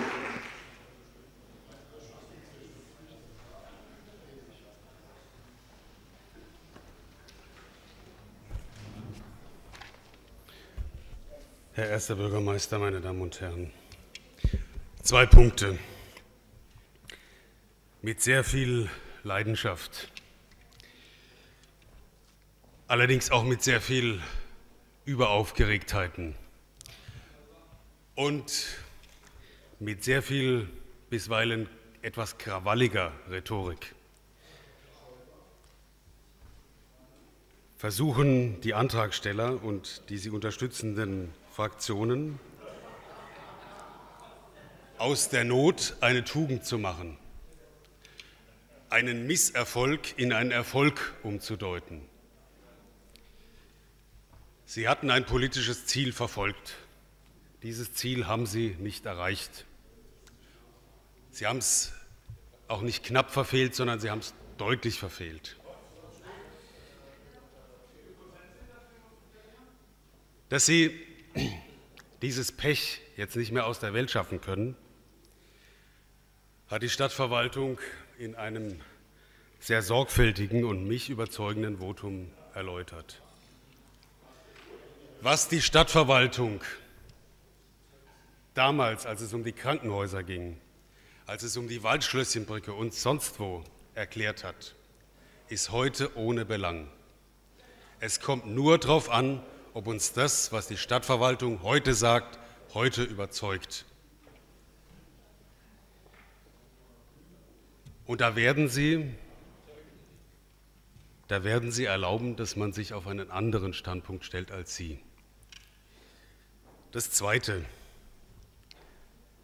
Es wird immer so getan, als hätten wir keine Entscheidung getroffen. Wir haben im vergangenen Jahr für das Jahr 2015, nur für das Jahr 2015, eine Entscheidung getroffen. Und zwar eine Entscheidung, die nach langer Diskussion, teilweise schmerzhafter Diskussion zustande gekommen ist. Und genau diese Entscheidung sollten wir jetzt umsetzen. Und dann sollten wir die Lage bewerten, wie sie sich dann darstellt. Und diese Lösung wollen Sie jetzt dadurch torpedieren, die Lösung, die wir damals, wie gesagt, unter Schmerzen gefunden hatten, dass Sie sagen, oh, ihr seid doch sonst immer für Bürgerbeteiligung, dann lasst doch jetzt zu. Da kann ich nur das, was Herr Schulte-Wissermann gesagt hat, bekräftigen. Wir können darüber reden, aber nicht in diesem Punkt. Jetzt haben wir eine Entscheidung für das Jahr 2015 und die haben Sie nun mal nicht kippen können. Bitte finden Sie sich damit ab. So, jetzt Herr Zastrow und dann Herr Schmelig.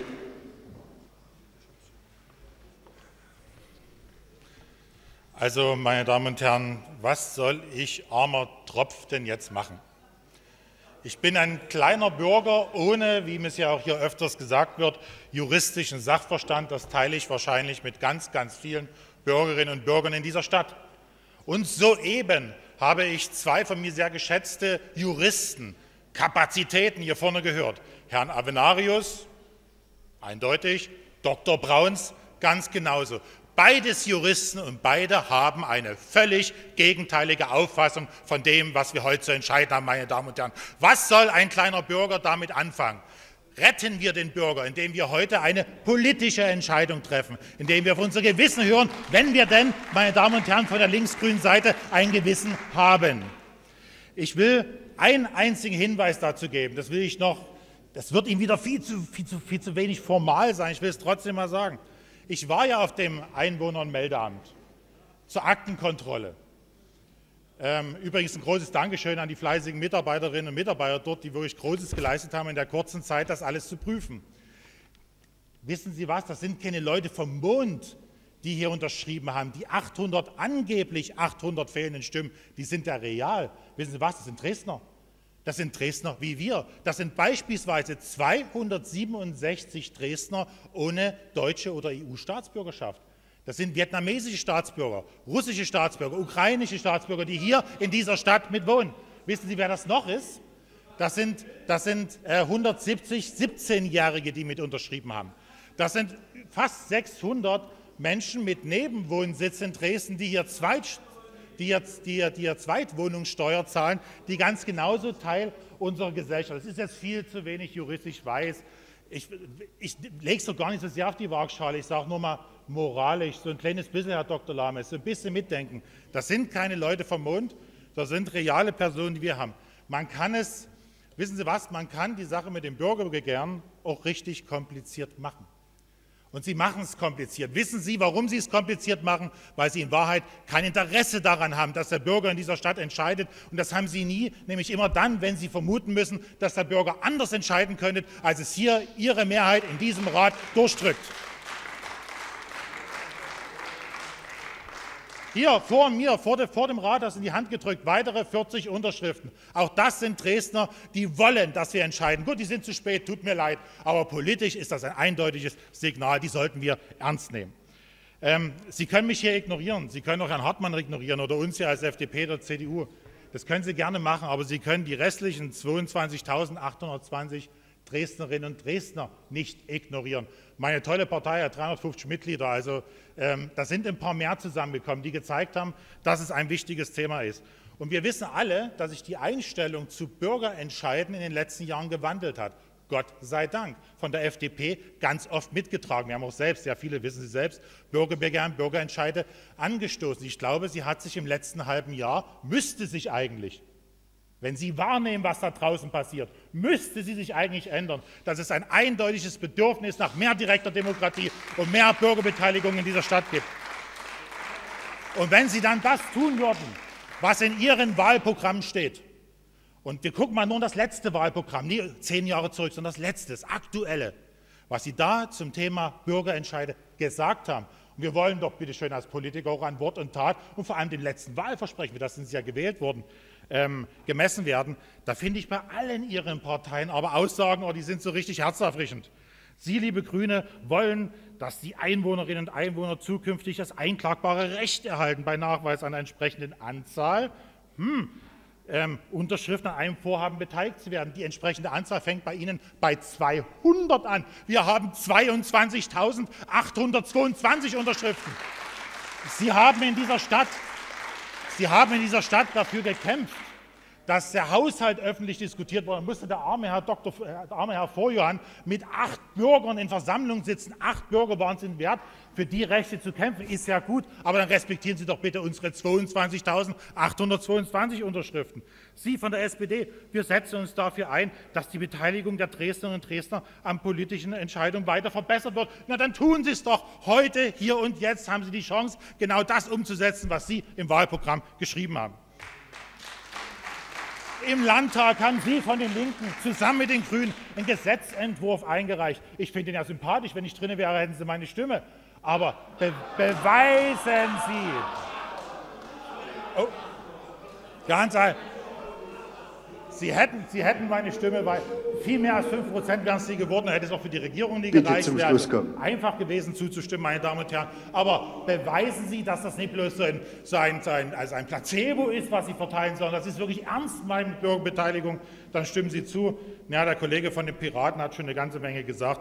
Ich möchte zum Abschluss trotzdem vorlesen, weil ich es so schön finde.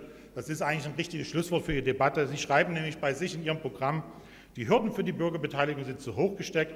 Quoren für Bürgerbegehren und Petitionen müssen gesenkt werden. Bei der momentanen Politikverdrossenheit haben die wenigen, die sich Sorgen und Gedanken um unsere Zukunft machen, kaum eine Chance, Gehör zu finden. Genauso ist es. Diese 800 Stimmen juristisch umstritten halten Sie ab, jetzt einem Bürgerentscheid zuzustimmen. Meine Damen und Herren, dann lösen Sie die Piraten auf, dann braucht man diese Partei beim besten Willen nicht mehr. Dankeschön. So, die nächsten Redner sind Herr Schmelig und dann Herr Mattis.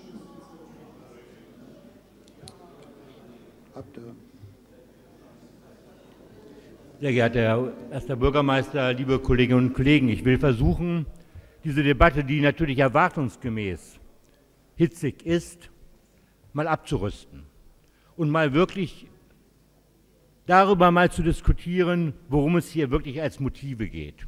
Und ob wirklich Vergleiche, die hier angezogen und angestellt werden, wirklich seriöse Vergleiche sind. Sie wissen, und ich glaube, wir können das als Grüne für uns in Anspruch nehmen. Wir haben bei dem Bürgerentscheid zu den Krankenhäusern, obwohl wir, wenn man so will, auf der anderen Seite waren, haben wir ihn ermöglicht. Weil es hat deshalb damals ein Rechtsgutachten gegeben, weil es eben umstritten war, weil die Rechtslage unklar war. Und aus dem Grund haben wir gesagt, dann fragen wir doch die Bürgerinnen und Bürger. Und dann darf ich noch mal auf die Dimension der Entscheidung, das werde ich aber gleich noch im anderen Zusammenhang tun, zu sprechen kommen. Wir haben, und das darf ich für mich mal in Anspruch nehmen, ich habe in der Sache, was die Sonntagsöffnungszeiten angeht, eine andere Auffassung meiner Fraktion. Trotzdem ist es klar, klar, dass so wie dieser Bürgerentscheid und das Bürgerbegehren eingeleitet wurde, Herr Zastron, Sie können nicht so tun und es umdeuten, Sie haben damals kurz vor Erreichen des Termins die Beine in die Hand genommen, noch die letzten äh, Unterschriften zu, einzureichen. Dann sagen Sie einfach, das ist gescheitert. Und wenn Christian Hartmann und Sie vorhin gesagt haben, es geht gar nicht um 2015, dann frage ich mich, warum müssen wir dann 2015 einen Bürgerentscheid machen? Genau, das ist nämlich der Punkt. Sie wollen den sogenannten Bürgerwillen instrumentalisieren für eine OB-Wahl. Das ist das einzige Ziel das einzige Ziel, das Sie verfolgen mit der Geschichte. Warten Sie mal, warte mal ganz, ja, können gerne ein bisschen rumbrüllen. Und der Groß, nein, Sie werden, und ich, ich komme noch mal zu Ihren seltsamen Vergleichen zurück. Wir haben, wir haben bei allen Bürgerentscheiden und allen Bürgerbegehren, die wir hatten, das waren Notbremsen der Bürgerschaft, die dann so oder so ausgegangen sind gegen weitreichende Entscheidungen gegen Entscheidungen, die, wenn sie dann nicht die Bürger entschieden hätten, sozusagen eine langfristige Wirkung haben sie auch erfüllt. Ich sage mal in den Krankenhäusern, in der Frage Waldschlösschenbrücke. Hier reden wir, oder in der Boba-Frage, hier reden wir über Sonntagsöffnungszeiten im Jahre 2015. Diese moralische Keule, dieses Aufblähen dieses Themas vor dem Hintergrund, dass 2016, 2017 und 2018 neu über diese Frage zu entscheiden ist, ist völlig unverständlich und hat mit Bürgerentscheidung nichts zu tun. Und dann fordern Sie dieses Bürger, dann fordern Sie ein Ratsbegehren. Was ist denn ein Ratsbegehren? Ist das ein ist das eine Bürgerentscheid von unten? Das ist Bürgerbeteiligung nach Gutsherrenart. Der sagt der Stadtrat, nö, eigentlich will ich nicht entscheiden, entscheide ich mal im Grunde genommen, die Bürger werden gefragt. Ich denke mal, und das ist unsere aller Aufgabe, und wenn Sie es raushalten aus dem, aus dem OB-Wahlkampf, und wenn Sie das schaffen im Grunde genommen, ja, dann sage ich mal alle Achtung, weil Ihnen im Grunde genommen es nicht darum geht, ob hier einen Sonntag mehr oder weniger geöffnet wird, sondern Ihnen geht es darum, dass hier sozusagen mit dem Willen, mit, dem, mit den 22.000 Unterschriften letztendlich Politik für die OB-Wahl gemacht wird. Und dann sage ich immer Folgendes. Keiner, kein vernünftiger, kein Herr, ähm, Herr Sastro, Herr Sastro. Ja, das stimmt. Darum, darum geht es aber nicht. Es geht darum, dass wir heute die Rechtmäßigkeit entscheiden. Und da sage ich Ihnen jetzt trotzdem noch mal etwas. Ich glaube, niemand, der ein Verantwortungs ich, ich, wollte eigentlich abrüsten, aber Sie kriegen das auch nicht hin. Sie sind dermaßen aufgedreht und, und ja, und Sie versuchen im Grunde immer nur mit Keulen zu arbeiten. Und ich meine, dass Sie nur für Bürgerbeteiligung dann sind, wenn Sie eine Chance sehen, das haben Sie auch bewiesen. Also von daher regen Sie sich doch bitte nicht so auf darüber, weil Sie, das ist also, die größten Kritiker der Elche waren früher selber welche. Also von daher sagen wir mal wirklich, darum geht es hier nicht in der konkreten Frage. Und jeder, der in diesem Rat verantwortungsvolle Politik betreibt, der wird natürlich wenn die Entscheidung, um die es ja angeblich geht, nämlich 16, diese Entscheidung zu treffen hat, wie wir mit der Frage der Sonntagsöffnungszeiten umgehen. Selbstverständlich auch wissen, dass es 22.000 Bürgerinnen und Bürger gegeben hat, die sich in dieser Frage so verhalten haben. Natürlich haben alleine darüber schon die, diejenigen, die hier Unterschriften abgegeben haben, und ich möchte die nicht diskreditieren, diejenigen, die aus welchen Motiven auch immer, mit welchem Promotion-Apparat auch immer unterschrieben haben, jede Unterschrift ist genauso viel wert und ist ernst zu nehmen. Und niemand hier in diesem Rat der Politik und sein Mandat ernst nimmt, wird sich bei der Entscheidung, wo es um diese Frage der Sonntagsöffnungszeiten 2016 geht, nicht daran erinnern und nicht berücksichtigen, dass Sie ja so und so viel unterschrieben haben. Das ist die Konsequenz, die aus einer solchen Bürgerbeteiligung zu ziehen ist, aber nicht die Instrumentalisierung in einem Wahlkampf. So, meine Damen und Herren, ähm, wenn man so die letzten Wochen zusammenfasst, ist das Thema schlechthin in Dresden die Sonntagsöffnung der nächsten Jahre. Ich habe noch 21 Minuten bis 22 Uhr, bei Ihnen bestimmt dasselbe, und habe im Moment noch sieben Redner.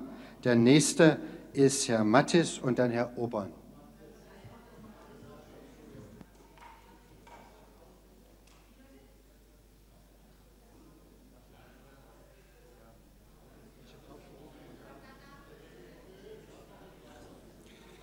Herr erster Bürgermeister, liebe Kolleginnen, liebe Kollegen, liebe Gäste. Vorab, vorab, das sage ich gleich zuerst, ich habe ähm, hohen Respekt vor 22.000 Menschen oder vielleicht noch mehr als 22.000, wenn man die nach dem 12. März mitzählt, die, äh, dieses, Bürger, die dieses Bürgerbegehren unterschrieben haben. Ich habe selber schon für mehrere Bürgerbegehren Unterschriften gesammelt, eins selber initiiert. Ich weiß, was das für eine äh, Arbeit macht, für eine Anstrengung ist, wie viel Energie man da reinsteckt. Und ich kann mir sehr gut nachvollziehen, dass diejenigen, die damit so ganz knapp gescheitert sind, da würde ich Herrn Avenarius widersprechen, ich denke, es ist knapp gescheitert, dass die furchtbar enttäuscht darüber sind. Äh, das halte ich für nachvollziehbar und äh, da muss ich sagen, ja, das ist eben leider so. Die Hürde ist furchtbar hoch. 5% der Unterschriften in drei Monaten ist eine verdammt hohe Hürde, das weiß ich, eine sehr hohe. Die muss allerdings nicht so hoch sein. Und da sind wir bei diesem Punkt. Sie hätten es in der Hand von der CDU im Landtag, diese Hürden zu senken. Es gibt Großstädte in Deutschland, da gelten 3% Es gibt es gibt längere Zeiträume für kassatorische Begehren als nur drei Monate. Und es gibt sogar äh, Bundesländer, die haben diese Unterscheidung, die uns jetzt hier so eine schwere Rechtssprache äh, beschert, zwischen Initiativ- und kassatorischen Begehren ganz abgeschafft. Die gibt es dort nicht mehr. Dort zählt nur noch die Sammelzeit. So. Wenn, das, wenn Sie das im Landtag machen, ich bin Ihnen überzeugt, Sie haben die versammelten Stimmen der gesamten Opposition auf Ihrer Seite. Es könnte ein einstimmiger Beschluss im Sächsischen Landtag werden. Das äh, dazu. Nun sind wir aber äh, vor der Sache, dass wir es, es, letztlich, also zu dem Thema äh, Ratsbegehren oder Beschluss auf Stadtratsmehrheit, ich glaube, da ist alles Erforderliche gesagt. Dazu fehlt es A an der Bedeutung des Themas und B natürlich auch an sozusagen der gemeinsamen Verständigung auf eine Fragestellung. Sie glauben ja nicht im Ernst, dass wir diese Fragestellung übernehmen würden. Ähm, aber zu der Frage der Rechtmäßigkeit des äh, Bürgerbegehrens, da hängt es ja nur an der Frage, ist es kassatorisch oder ist es nicht kassatorisch? Und ist es richtig, wir haben hier im Saal viele hervorragende Juristen. Und ich stelle fest, bei den Juristen, da haben wir auf der einen Seite die Meinung von Herrn Avenarius, von Herrn Lames, von Herrn Schollbach und von Herrn Sittel und auf der anderen Seite die Meinung von Herrn Dr. Brauns. Also rein summarisch steht es 4 zu 1. Ich sage nur, das spielt überhaupt keine Rolle, weil jeder, jeder glaubt im politischen Raum natürlich nur dem Juristen, der seine Meinung vertritt. So, da spielen die Zahlenverhältnisse überhaupt keine Rolle. Es ist, es ist ein Dilemma, das, äh, Richter sind ja auch mehrere. Äh, es, ist, es ist ein Dilemma, es ist ein Dilemma, dass diejenigen, die hier über die Rechtmäßigkeit entscheiden müssen, die gleichen sind, die in der politischen Frage die eine oder andere Position vertreten. Und jetzt komme ich auf das, was hier angesprochen ist. Wie hätten wir uns denn verhalten damals beim Bürgerbegehren über die Krankenhäuser? Wenn der Stadtrat damals nicht mit knapper Mehrheit gegen ihre Stimmen es zugelassen hätte, sondern wenn er es abgelehnt hätte. Ich kann Ihnen sagen, was wir gemacht hätten. Wir hätten uns unser Recht geholt. Wir waren überzeugt davon, es ist rechtmäßig. Und bei einer Ablehnung wären wir davon, Plakate hätten wir nicht bezahlen können und große Anzeigen da und so, das, das wäre gar nicht drin gewesen. Äh, wir wären vor Gericht gezogen und dann hätte es ein unabhängiges Gericht entscheiden müssen. Und das kann ich Ihnen empfehlen. Das hat nämlich auch den großen Vorteil, das unabhängige Gericht, da entscheidet nie die CDU, nie die Linke. Es ist völlig unabhängig davon. Und damit haben wir dann ein für alle Mal die Klärung, ob es nun kassatorisch war oder nicht kassatorisch. Und ich glaube, das könnte äh, die Sache doch befrieden. Und insofern werden wir heute eine rein, äh, sage ich jetzt mal, sachliche Entscheidung treffen. Es, es ist, sind in den, 15, in den drei Monaten nicht die erforderlichen Unterschriften zusammengekommen. Das ist ein einfacher Fakt, der festzustellen ist. Und alles andere können Sie entweder vor Gericht oder gegebenenweise durch ein neues Bürgerbegehren klären. Danke. So, jetzt gab es einen Geschäftsordnungsantrag, Frau Filius-Jene. Ich bin jetzt seit elf Jahren im Stadtrat und es ist das erste Mal, dass ich Ende der Debatte beantrage. Ich muss das tun, weil wir haben noch zwei Punkte, die wir unbedingt noch. Äh, wir müssen die Ausschreibung der Bürgermeister auf den Weg bringen, sonst wird es nichts. Und deswegen und wir haben noch die Bettensteuer. Wir brauchen das Geld, sage ich mal so. Wir, ich beantrage Ende der Debatte und Okay, Ende der Debatte beantragt. Ähm, Gegenräte? Herr Kreis.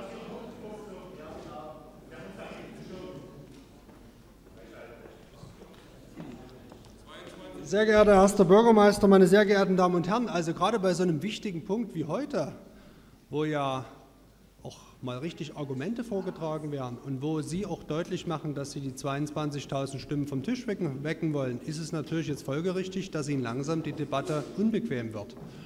Ja?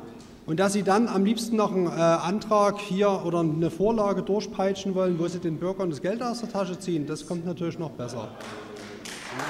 Insofern kann ich hier nur an den Stadtrat appellieren, dieses Thema weiter zu behandeln und den Rednern, die auf der Rednerliste stehen, noch die Möglichkeit zu geben, hier zu sprechen und diese Debatte, die Ihnen offensichtlich unliebsam ist, weiterzuführen. Vielen Dank. So, wir haben einen Geschäftsordnungsantrag auf Ende der Debatte und eine Gegenrede gehört. Wer für den Geschäftsordnungsantrag auf Ende der Debatte ist, den bitte ich jetzt ums Handzeichen.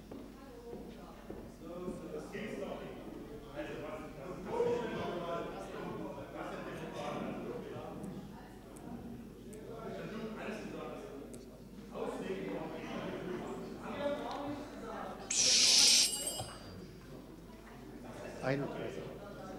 So, Gegenstimmen?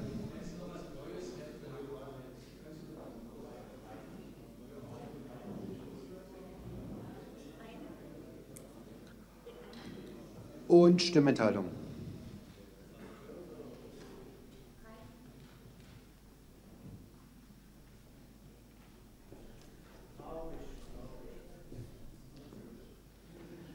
31 ähm, Ja-Stimmen, 33 Nein-Stimmen, drei Enthaltungen. Es geht weiter. Und damit ist als nächster der Herr Urban äh, dran und, dann, und danach haben wir Herrn Thiele. Sehr geehrter Herr Thiele und Frau Ile. Passt fast.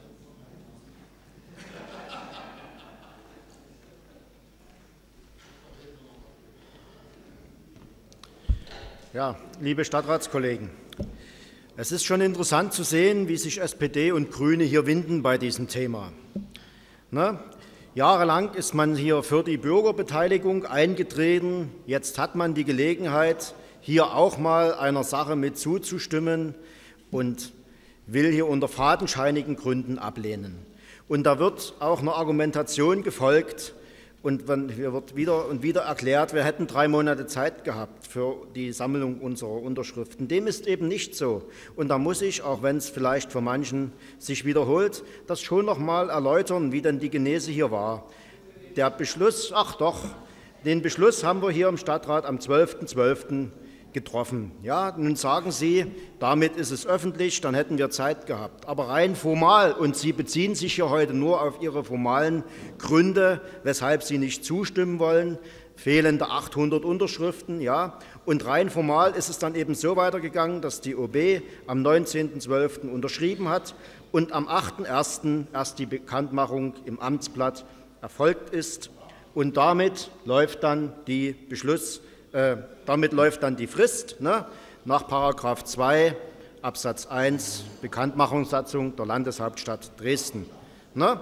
Und dann sind es eben nicht mehr drei Monate, die wir da hier Zeit hatten. Und wenn Sie uns jetzt vorwerfen, dass wir hier auch die OB-Wahl instrumentalisieren, damit wir ähm, dieses Thema durchsetzen, wir wollen eben einfach auch nur versuchen, hier Synergieeffekte zu erreichen, indem wir, natürlich, Herr Scholbach, logischerweise, weil wir uns eben auch Gedanken machen über die finanzielle Situation der Stadt und weil wir keine Extraveranstaltung hier durchführen wollen, ähm, um dann den Bürger abstimmen zu lassen, sondern weil wir sagen, es ist eine gute Gelegenheit im Sommer, wo der Bürger auch über diese Frage gleich mit abstimmen kann und Entsprechend können wir hier Geld sparen und auch die Verwaltung ein Stück weit entlasten, weil die OB-Wahl ja nun mal sowieso stattfindet. Und das wollen wir einfach mal nutzen, um das Thema gleich mit abstimmen zu lassen. Das ist unser Anliegen. Und deshalb stellen wir heute diesen Antrag auch für die Durchführung des Bürgerbegehrens. Denn ansonsten hätten wir ja noch in aller Ruhe unsere Unterschriften weiter sammeln können, bis wir dann tatsächlich die entsprechende Anzahl zusammen gehabt hätten. Und dann möchte ich Sie hier drüben mal erleben, wie Sie sich dann positioniert hätten. Denn schlussendlich entscheidet ja in jedem Fall der Stadtrat über die Durchführung so eines Bürgerentscheides. Und zum Abschluss noch kurz zu Herrn Blümel zu der Frage damals beim Mobauverkauf. Da war eben der große Unterschied, dass zum Zeitpunkt der Abstimmung im Stadtrat die Unterschriften noch nicht vorlagen. Erst danach haben sie sich auf den Weg gemacht und haben gesammelt. Und beim, bei der Frage zum Krankenhaus haben sie sich ja viel länger Zeit gelassen, ähm, um ihre Unterschriften zusammenzukriegen. Ja? Und da hat auch niemand dann schlussendlich danach gefragt, wie lange sie gebraucht haben. Und dort war es ihnen dann auch egal, inwieweit das sozusagen eine kassatorische Geschichte war oder nicht dass es keine kassatorische ist. Ich glaube, das wurde hier mannigfaltig erklärt. Und von daher bitte ich Sie einfach, entsprechend auch über Ihren Schatten zu springen. Ja? Welchen Zacken pressen, pressen ähm, Sie sich eigentlich aus der Krone, hier nicht zuzustimmen? Sie haben offenbar Angst vor dem Bürger. Und ich glaube, hier müssen Sie deutlich mal überlegen, auf welcher Seite Sie stehen. Sie denken, dass der Bürger sozusagen hier nicht in Ihrem Sinne abstimmt. Davor haben Sie Angst. Geben Sie das doch einfach zu, als nur auf diesen fehlenden 800 Unterschriften herumzureiten. Dankeschön. Als nächstes Frau Ile und dann Herr Scholbach. Ich mache es ganz kurz. Der Herr Urban hat mir sehr aus dem Herzen gesprochen. Dieser Rundumschlag hier, was bedeutet das überhaupt? Es geht hier nicht darum, dass es uns nicht möglich wäre, per Ratsbegehren zu entscheiden, sondern es geht darum, dass wir alle der Bürgerstimme Gehör geben können, wenn wir das, wenn Sie das wollen. Sie müssen, Sie können, Sie können das wollen. Und wenn Sie das nicht wollen, dann frage ich mich, warum nicht? Der Haken ist, dass Sie nicht bereit sind, die Entscheidung der Bürger zu akzeptieren, wenn sie nicht wenn sie nicht ihren politischen Statements und ihren politischen Einstellungen entsprechen wird. Die da in dem Fall lauten, nieder mit dem Mittelstand, nieder mit dem Handel, wo das Geld für die Steuern herkommt, ist uns doch egal. Wenn, dem, wenn, Sie, wenn Sie den Kopf schütteln und das nicht der Fall ist, dann stünde Ihrer Bereitschaft einer Zustimmung beim Ratsbegehren nichts entgegen. So, jetzt Herr Scholbach und dann Frau Ahnert.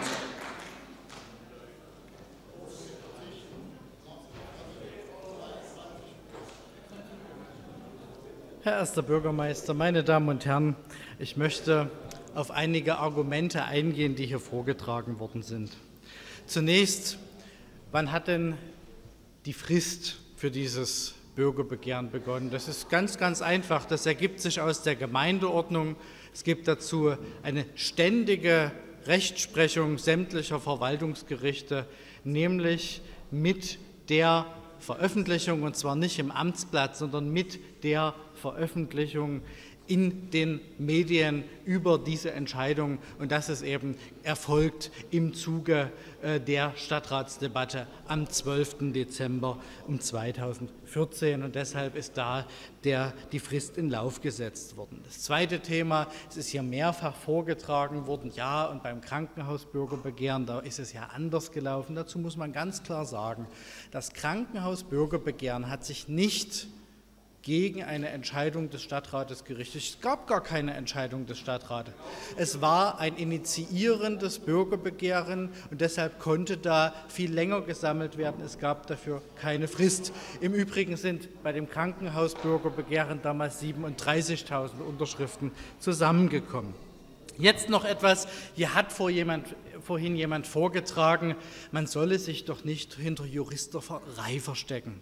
Also meine Damen und Herren, also ganz offen, da kann ich nur noch mit dem Kopf schütteln. Wir leben in einem demokratisch verfassten Rechtsstaat. In einem demokratisch verfassten Rechtsstaat sind nun einmal Regeln einzuhalten. Und dass die Verwaltung an Recht und Gesetz gebunden ist, und wir an Recht und Gesetz gebunden sind, ergibt sich ganz einfach aus Artikel 20 Absatz 3 unseres Grundgesetzes. Und deshalb kann der Stadtrat eben nicht veranstalten, was er möchte.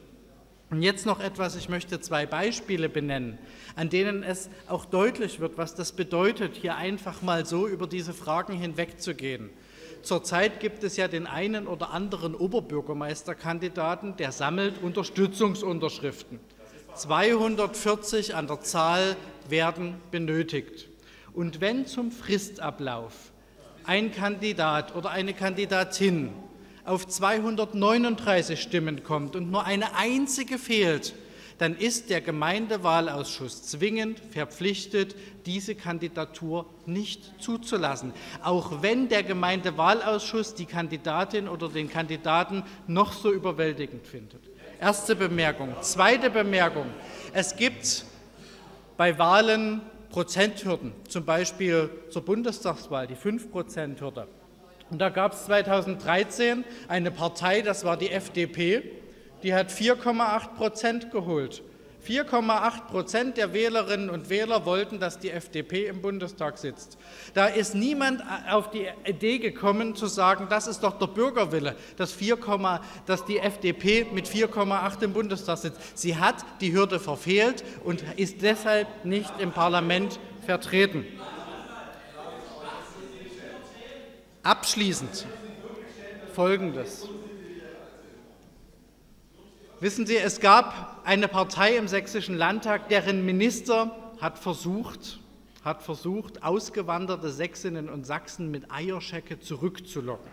Hat ja grandios geklappt. Und weil das so gut geklappt hat, hat die FDP bei der Unterschriftensammlung jetzt nicht auf Eierschecke gesetzt, sondern auf Eierlikör. Den Unterschreibenden wurde allen Ernstes für eine Unterschrift ein Eierlikör angeboten. Also, Herr Zastro, wer Ihnen diese Schnapsidee eingeredet hat, Sie hätten vielleicht genau darauf verzichten sollen, dann wären ein paar Unterschriften mehr leserlich gewesen. Letzte Bemerkung weil hier immer wieder gesagt worden ist, das sind doch nur Formfragen. Und dazu will ich abschließend einen großen deutschen Rechtswissenschaftler, nämlich Rudolf von Jering, zitieren. Die Form ist die geschworene Feindin der Willkür, die Zwillingsschwester der Freiheit. Denn die Form hält der Verlockung der Freiheit zur Zügellosigkeit das Gegengewicht. Vielen Dank.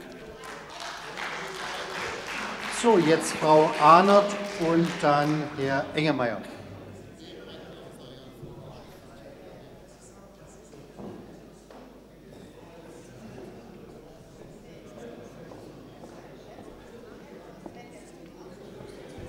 So.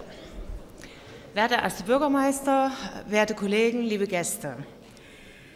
Herr Blümel, bei Ihnen würde ich gerne kurz anfangen. Ich bin etwas erstaunt über Ihre Ausführungen äh, vorhin gegenüber Herrn Hartmann, denn Sie sollten genau wissen, dass es auf Landesebene eine völlig andere äh, Rechtslage gibt. Dort geht es gerade darum, das Quorum zu senken.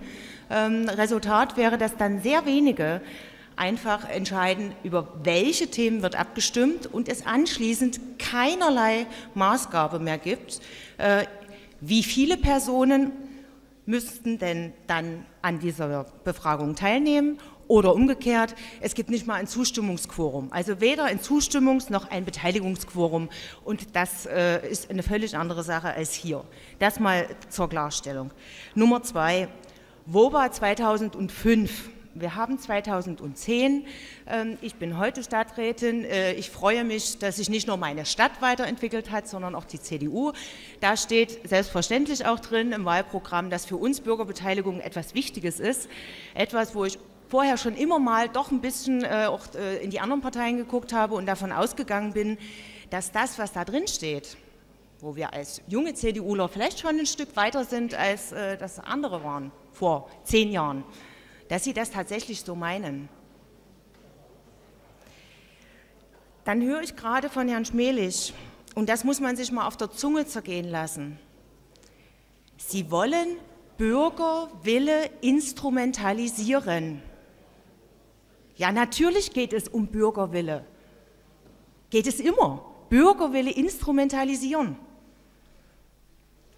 Damit die zur Wahl gehen, damit das bei der Oberbürgermeisterwahl drankommt. Natürlich geht es bei einer Wahl und geht es bei allen Entscheidungen darum, dass der Bürgerwille entscheidet. Wenn es denn bei einem Bürgerentscheid, bei einem Bürgerbegehren nicht um den Bürgerwillen geht und bei all dem, was bei Ihnen im Programm steht, worum denn dann? Also das ist völlig obskur. Und Herr Avenarius, wenn ich bei Ihnen auch noch mal ansetzen darf, dann äh, bin ich doch sehr verwundert über Ihre Aussagen zu 27.000 in Dresden lebende Bürger oder eben die 22.000, die wir jetzt haben, die nachweislich jetzt unterschrieben haben, das Quorum also erreicht ist. Wenn man sich mal anschaut, wie viele Dresdner haben eigentlich ihre Stimme für die SPD gegeben bei der Kommunalwahl, dann waren das 84.000 Stimmen. Gehe ich davon aus, dass das jeweils drei Stimmen waren, dann sind das 28.000 Personen. Welche Personengruppe ist für Sie eigentlich relevant? Das ist wirklich, das sollten Sie sich mal durch den Kopf gehen lassen.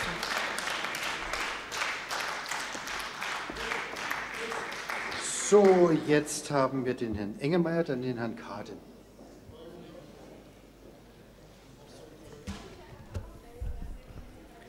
Genau, wir haben ja jetzt schon viel gehört zur Zulässigkeit und ob das nun kassatorisch ist oder nicht. Ähm, der Herr Zastro war ja eigentlich am schnellsten, schon äh, bevor es angefangen hat mit den Unterschriften unter äh, sammeln, hat er eine SZ verkündet, wir wollen die Entscheidung von Rot-Grün-Rot kippen. Das war eindeutig. Auch die Frage ist eindeutig. Sie hätten uns diese Schwierigkeiten und auch Ihr gescheitertes Bürgerbegehren erspart, wenn Sie die Frage einfach etwas deutlich formuliert hätten. Hätten Sie in die Frage, in die Entscheidungsvorlage hineingeschrieben, 2016, Sie hätten sofort keine kassatorische, wäre niemand drauf gekommen. Haben Sie nicht gemacht. Ich weiß nicht warum. Auch der Herr Hartmann hat ja eingeräumt. Ja, können Sie mal kurz klingeln, danke. Ähm, Herr Sastro, beißen Sie mal ganz kurz in den Tisch. Beißen Sie mal ganz kurz in den Tisch. Danke. Meine Güte. Ähm, auch der Herr Hartmann hat ja eingeräumt, dass es kassatorisch ist, wenn Sie ihm zugehört haben. Und wenn Sie jetzt lautstark Bürgerbeteiligung fordern, ja, okay, dann rede ich tatsächlich nicht mit Ihnen, Herrn Zastro, sondern dann rede ich mit Herrn Hartmann. Denn der Sächsische Landtag lässt eben gerade nicht ausländische Mitbürger außer EU äh, an den Bürgerbegehren teilnehmen. Auch 17-Jährige dürfen im Moment daran nicht teilnehmen. Das sollte alles abgeschafft werden. Da sind wir uns. Äh, ja, das machen wir hier im Stadtrat. Leider geht es nicht.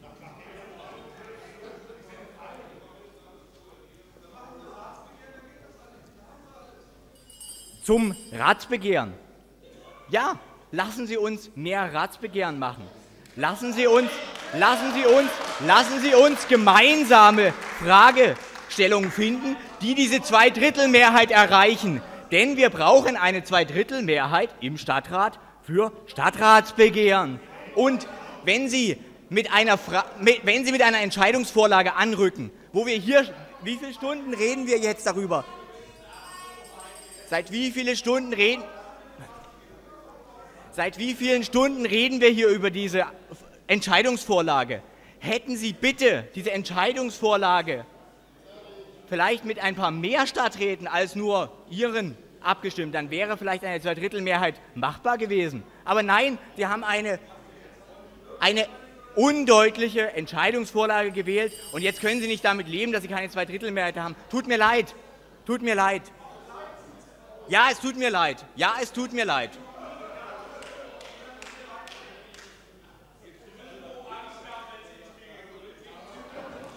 Meine Damen, meine Herren, ein bisschen mehr Konzentration und dann eben ähm, auch, dass wir so langsam uns noch konzentrieren, dass wir den Punkt dann mal zu Ende bringen können. Wir sind nach 22 Uhr. Ich will das jetzt nicht kommentieren, ob wir jetzt eine Werbeshow für den Stadtrat abgeben oder nicht. Äh, oder, ähm, ich habe im Moment äh, noch, und ich sehe einen Geschäftsordnungsantrag, aber ich habe derzeit auf der Rednerliste Eins, zwei, drei auf alle Fälle noch. Herr Scholbach, Geschäftsordner.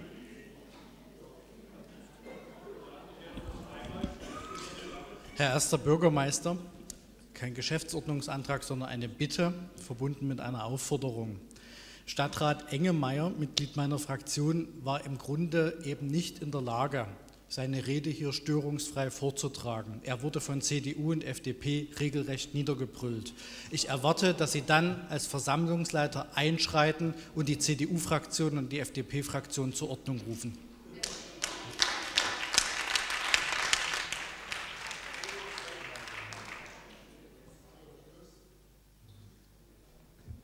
Dann ist als nächster ähm, Herr Karten dran, dann Herr Wirz.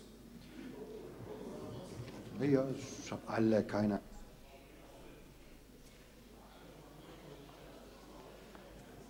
Sehr geehrter Herr erster Bürgermeister, meine sehr geehrten Damen und Herren, auch mit Fortschreiten der Debatte ist natürlich immer wieder die Frage spannend, wie wirkt es eigentlich draußen? Ich habe es vorhin gesagt und möchte es an der Stelle wiederholen.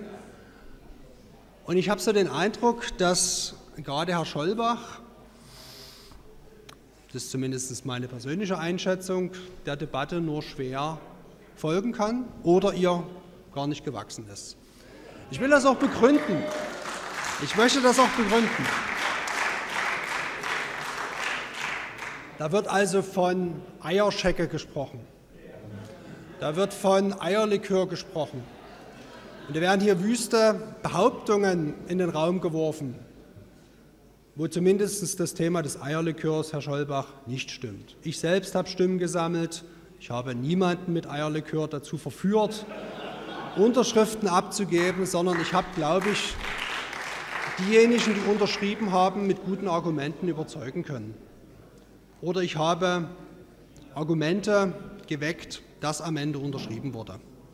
Und es ist auch, denke ich, denjenigen, die hier 27.000 Unterschriften mittlerweile gesammelt haben, auch völlig unangemessen, so einen Beitrag hier zu leisten und davon zu reden, dass all diejenigen, die hier unterschrieben haben, mit Eierlikör geködert worden wären. Herr Scholbach, dafür sollten Sie sich schämen.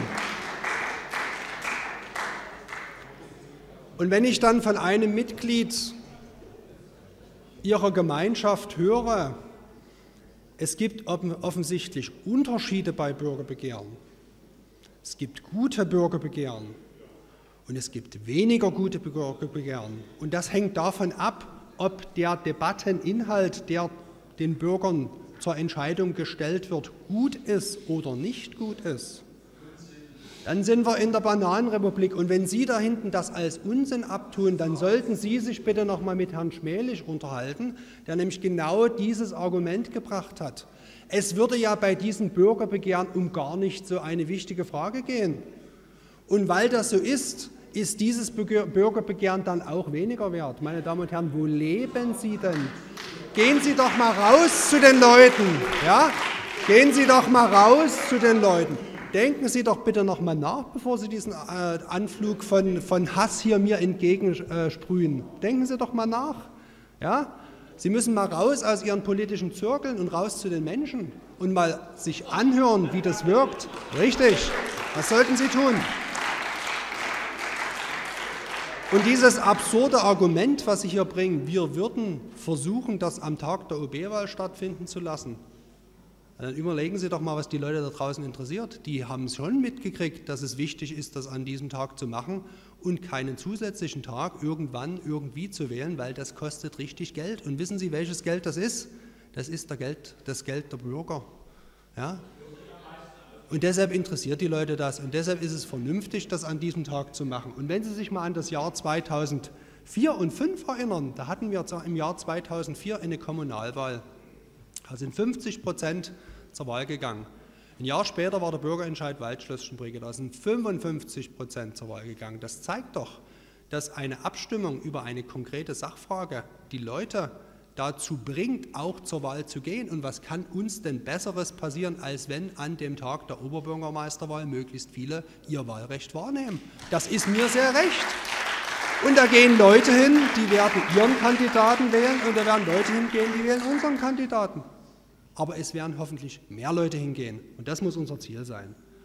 Letzter Satz. Herr Arvenarius, was Sie gesagt haben, das stimmt mich schon ein bisschen nachdenklich. Also wenn Sie hier erklären, dass Sie im letzten Jahr einen hart erkämpften Beschluss hier herbeigeführt haben zu den äh, Sonntagsöffnungszeiten und dann sagen, dass das jetzt eigentlich alles etwas lästig ist, was hier daherkommt, dann ist das für mich eine Aussage, dass das, was der Bürger hier erklärt mit seiner Unterschrift, Ihnen lästig ist. Und jetzt haben Sie doch die Katze aus dem Sack gelassen. Und das ist bezeichnend. Vielen Dank. So, als nächster Herr Wirz, dann Herr Fischer.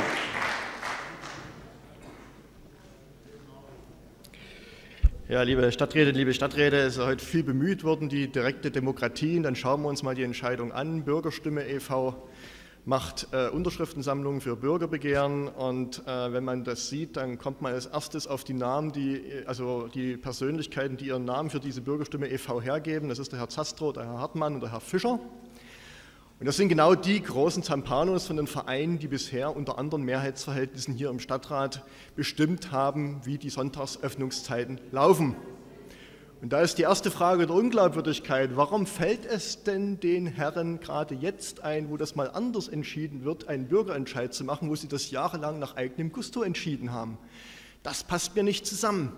Äh, ich denke mal, äh, hier ist nicht die Bürgerstimme am Werk, sondern hier ist im Prinzip eine politische Instrumentalisierung der Sonntagsöffnungszeiten betrieben worden, mit dem Ergebnis, dass es schiefgegangen ist. Das nächste ist, jetzt sollen wir überlegen, jetzt sollen wir überlegen, wie viele tausend Stimmen wir hier vom Tisch wischen. Ich habe eine ganz andere Überlegung. Ich überlege die ganze Zeit, wie viel tausend Euro wischen wir hier eigentlich vom Tisch. Tausende Euros für gedungene Stimmensammler, tausende Euros für Plakate, tausende Euros für gekaufte Annoncen in Dresdner Tageszeitung. Meine Damen und Herren, wir reden hier nicht über direkte Demokratie, wir reden über gekaufte Demokratie und das müssen wir ablehnen.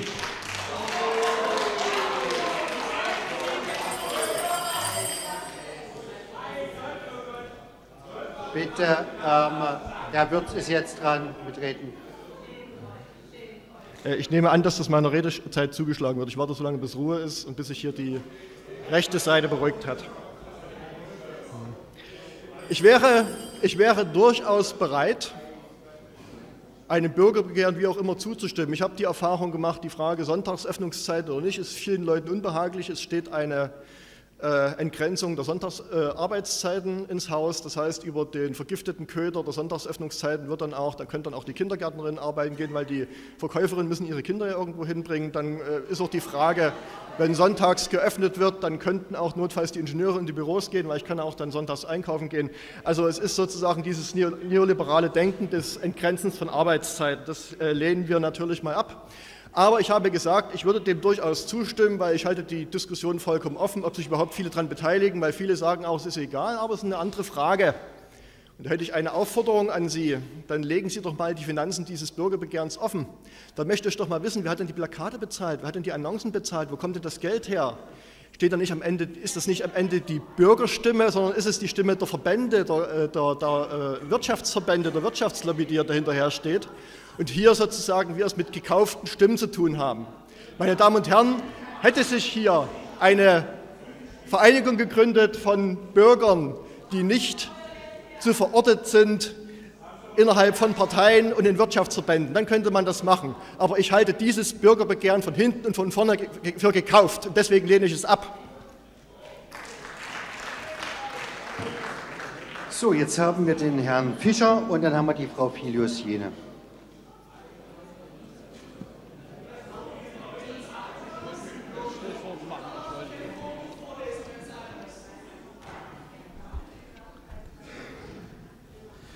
Schönen Dank, Herr Blümel und der letzte Redner, dass Sie mich genannt haben. Ich gehöre zu den Initiatoren Bürgerstimme, aber ich bin heute glücklich, dass ich meine Schüler nicht mit in die Zuschauertribüne gebracht habe. Die jungen Bürger, die hätten sich heute mit mir geschämt. Das war kein Lehrstück, was wir gemacht haben. Aber ich möchte zwei Sätze noch sagen zu meiner Vergangenheit, weil ich immer so hier rübergeschoben werde. Wir haben, als wir Bürgerfraktion waren, dermaßen gekämpft in unseren Fraktionssitzungen dienstags, da waren wir oft länger als der Stadtrat, da waren wir bis 23 Uhr da. Wir haben uns lange mit allem auseinandergesetzt und sind oft über unseren Schatten gesprungen. Das war eigentlich unsere Leistung. Die Medien haben Mist geschrieben, von wegen Zünglein an der Waage. So haben wir uns nie gefühlt. Wir haben Sachpolitik gemacht und haben gerungen drum. Und wenn wir vom Bürger was mitbekommen, dann haben wir das aber auch durchgesetzt. Und dann waren wir mal hier und dann waren wir hier. Wir waren keine Betonköpfe könnt ihr nicht mal über euren Schatten springen und diesen blöden Parteienkrieg lassen. Es ist beschämend. Danke. Frau Kliozene, bitte.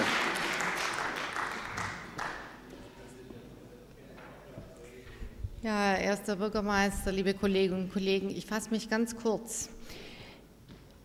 Wenn hier immer behauptet wird, und vor allem von der Seite, vor allem von Ihnen, Herr Kaden, wir würden immer für, nur für die Bürgerentscheide stimmen, die uns passen, dann kann ich sagen, ich habe hier im Haus, ich erinnere, also zwei, die ich wirklich sehr lebhaft vor mir habe. Das eine ist der Bürgerentscheid Waldschlösschenbrücke, dem habe ich hier in diesem Haus, das heißt im Rathaus drüben, nicht in diesem, aber im ähm, Rathaus habe ich zugestimmt und äh, Sie können mir glauben, nach wie vor, das Ergebnis ist heute noch keins, was mich beglückt. Aber das war so. Da habe ich zugestimmt, wohl wissend, welche Gefahr wir damit einlaufen, eingehen. Das Zweite war Krankenhäuser, da haben Sie mir heute große Vorträge gehalten und gesagt, ja, und mit den Krankenhäusern und so weiter.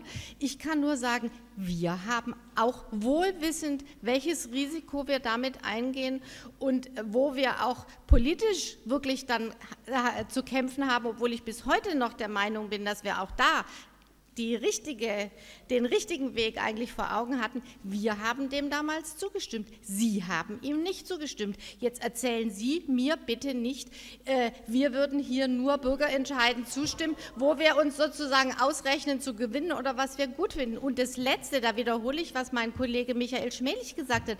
Ich verstehe nicht, warum Sie sich so aufregen. Auf der einen Seite sagen Sie, es geht gar nicht um 2015 weil, um zu sagen, es ist kein kassatorisches Bürgerbegehren. Gut, dann sage ich mal, dann haken wir 2015 ab. Das ist dann in jedem Fall so, wie wir das beschlossen haben. Und 2016, wo Sie sagen, jetzt geht es plötzlich darum, äh, kriegen wir ja das Thema hier wieder und können es in aller Ruhe von vorne und hinten und von allen Seiten wieder beraten. Und dann kann ich sagen, dann können wir mit Zeit und Überlegung, was wollen wir die Bürger da eigentlich fragen, geht es dann vielleicht tatsächlich wirklich nur um vier, geht es da um zwei, geht es da generell um Ladenöffnung? Es gibt ja auch Länder, Sie kennen meine Position, die ist sehr restriktiv, aber es gibt Länder, die haben keine Sonntagsruhe. Äh, ja, also ich will nur sagen, äh, dann kann man ja da mal grundsätzlich drüber nachdenken. Aber jetzt an dieser Stelle, wenn es nicht um 2015 geht,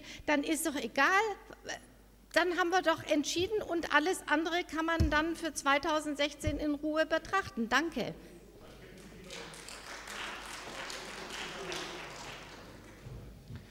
So, meine Damen, meine Herren, ich habe tatsächlich im Moment erstmal meine, die Rednerliste abgearbeitet. Ähm,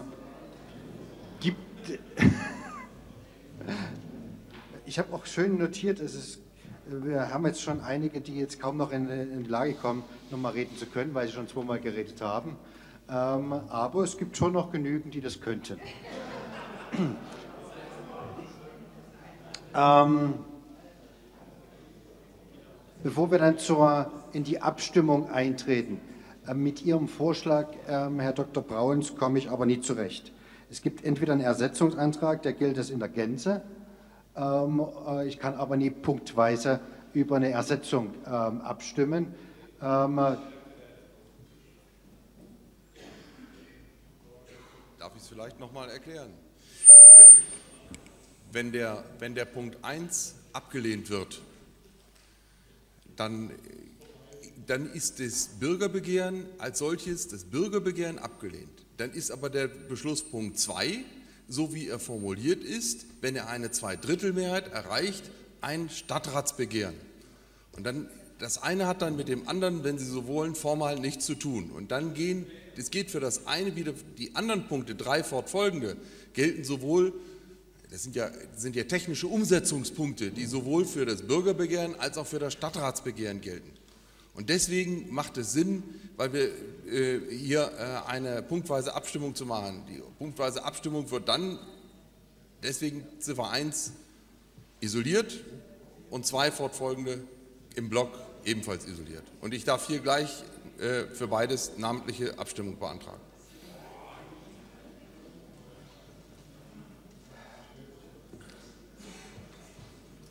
Also gehen tut es nicht, um das mal ganz ehrlich zu sagen, weil äh, es kann das eine ähm, beschlossen werden, das andere nicht. Es gibt einen Ersetzungsantrag. Sie können auch von mir aus mehrere Ersetzungsanträge stellen, die in einer, in einer verschiedenen Reihenfolge dann abgestimmt werden. Ähm, aber ich stimme nicht punktweise über einen Ersetzungsantrag ab. Punkt. Und entweder Sie stellen den Antrag und sagen, ähm, es ist, äh, Sie gehen als weitestgehende, sagen Sie den so, wie er in allen Punkten vorgelegt ist. Und dann gibt es, wenn der nicht durchkommt, sagen Sie einen zweiten Ersetzungsantrag, der dann nur die Punkte 2 ähm, fortfolgende beinhaltet. Das können wir machen. Aber ich kann nicht eine punktweise Abstimmung. Da kommt Unsinn raus. Also mit dem Verfahren, wenn ich es richtig verstanden habe, ich darf das mal wiederholen, äh, ob ich es richtig verstanden habe, wir stimmen erst den gesamten Antrag ab und falls dann dieser Antrag abgelehnt wird, dann, wird ein, dann kommt ein zweiter Ersetzungsantrag, der nur die Punkte 2 bis äh, Ende be, beinhaltet. Genau. Ja, okay, so können wir es machen. So, gibt es weitere noch Wortmeldungen oder Anträge? Ansonsten wird das Verfahren so auslauten, wie wir das gerade hier beschrieben haben ähm, in äh, den ähm, Abstimmungen. Und wenn die beiden keine Mehrheit haben, dann würden wir über die normalen ähm, federführenden Ausschussbericht abstimmen. Ja, ja, ich habe das schon okay. gesehen. Ich kann es ja noch mal zu Ende ja, erläutern. Ähm, und dann kommen wir vielleicht wieder Dutzende Fragen weiter hoch. Herr Engelmeier. Genau, wie der Herr ähm, Brauns gerade ausgeführt hat, geht es ja bei der zweiten Abstimmung, also nur Ersetzungsantrag Punkt 2 und fortfolgende, dann darum, ein mögliches Stadtratsbegehren irgendwie auf den Weg zu bringen, wofür ja eine Zweidrittelmehrheit vorgesehen ist. Ähm, die Ersetzung von Anträgen erfordert ja aber eine einfache Mehrheit. Richtig? Wie wird dann verfahren? Also in dem ersten ähm, Abstimmung müssten wir eine ähm, einfache Mehrheit erreichen wenn also die, so wieder ersetzend insgesamt ist. Wenn wir dann den, äh, nur die Punkte 2 fortfolgend haben, bräuchten wir dann eine Zweidrittelmehrheit. Wenn die nicht zustande kommt, stimmen wir über den, ähm, den federführenden Ausschussbericht ab. Und das dreimal namentlich.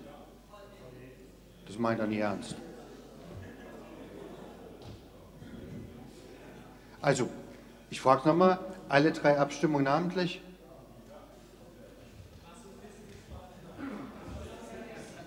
Dann beginnen wir mit der ersten Abstimmung. Und der wird, äh, Herr Green möchte auch. Also Herr Hilbert, es ist schon kurios, wenn ein Richter nicht weiß, was er beantragen muss. Wenn er namentliche Abstimmung beantragt, braucht er eine Mehrheit. Wenn er Wiederholung der Zählung beantragt, ist es ein individueller Antrag. Er hat namentliche Abstimmung. Dann lassen Sie bitte abstimmen, ob es eine Mehrheit für namentliche Abstimmung gibt.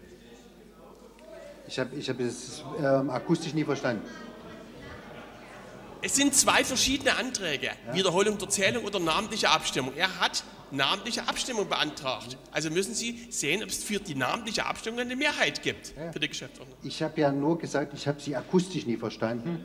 Ähm, in der zweiten Fassung ging das dann. Noch ein Geschäftsordnungsantrag, Herr Dr. Lames. Nee, noch nie. Ich, ich sammle gerade, weil Sie Geschäftsordnung unterwegs waren. Ähm, also, namentliche Abstimmung ist beantragt. Wer für die namentliche Abstimmung ist, die bitte ich jetzt ums Handzeichen.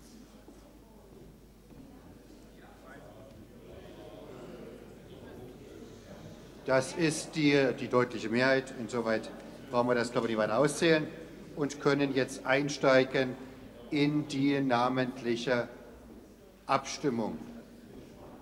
Und da wäre der Ersetzungsantrag zunächst, wie er uns vorliegt, in den Punkten 1 bis 5.3. Ähm, wer diesem seine Zustimmung geben möchte, wäre jetzt gefragt und das rufen wir mal schön auf.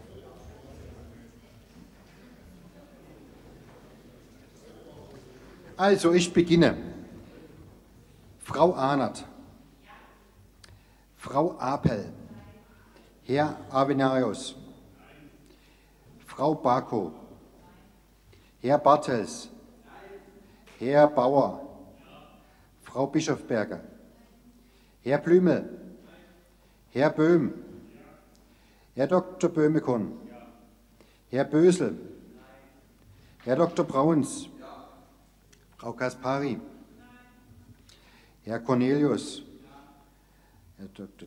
Herr Donhauser, Herr Treves, Herr Ecke, Frau Eichner, Herr Engemeyer, Herr Engler, Frau Filius-Jene, Herr Fischer, Herr Flemming, Frau Frohwieser, Frau Dr. Geitsch, Herr Dr. Gebel, Herr Genschmar, Herr Gielke, Frau Grundmann, Herr Grundmann, Frau Harzendorf, Herr Hassler, Herr Heinrich, Frau Hinz, Herr Hoffsommer, Frau Ihle, Herr Kapott,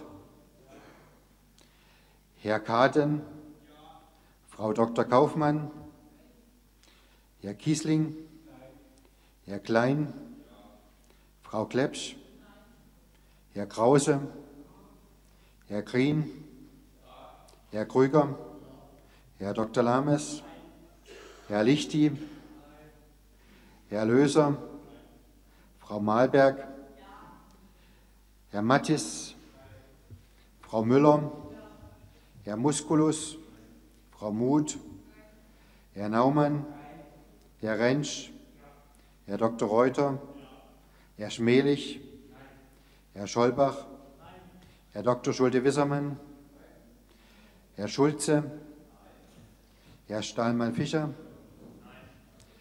Herr Thiele, Herr Urban, Herr Vogel, Frau Anke Wagner, Frau Kerstin Wagner, Frau Walter, Herr Wirz, und Herr Zastrow.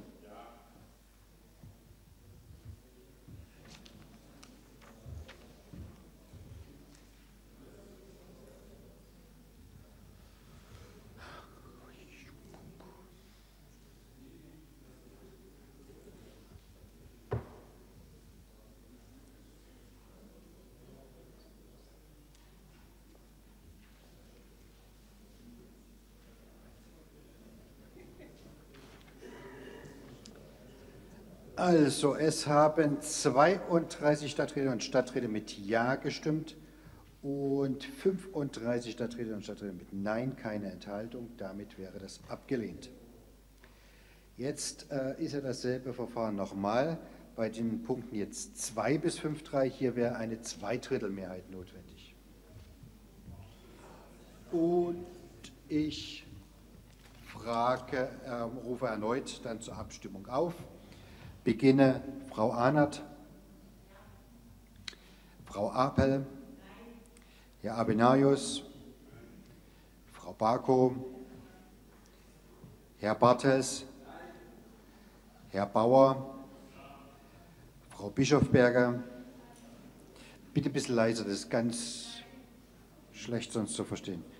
Ähm, Herr Blümel, Frau Böhm, ah, Herr Böhm, Entschuldigung. Geht langsam los. Ähm, Herr Dr. Böhme-Korn,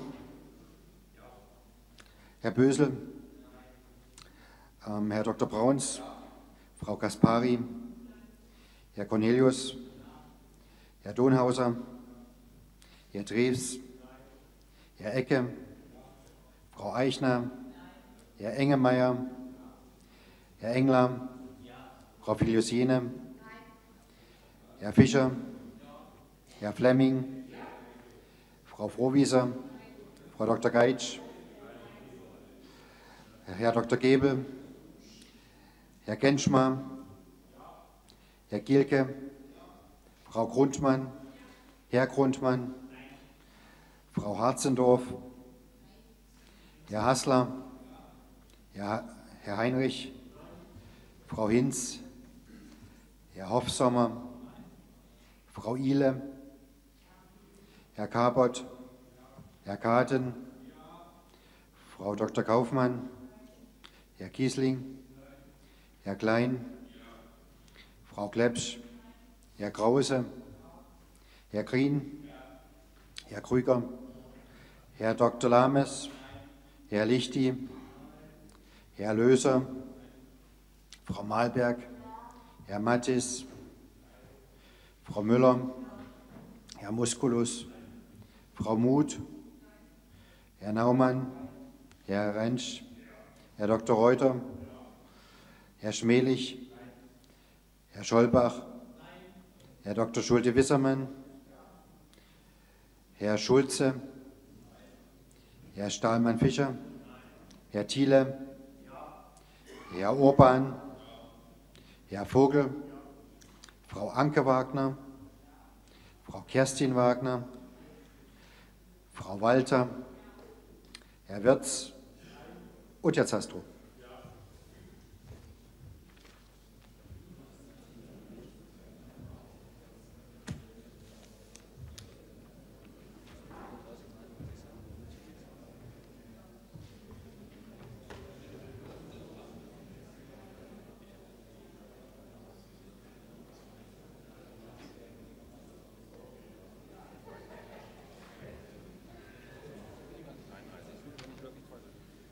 Also, das Ergebnis dieser Abstimmung lautet 34 Ja-Stimmen, 33 Nein-Stimmen.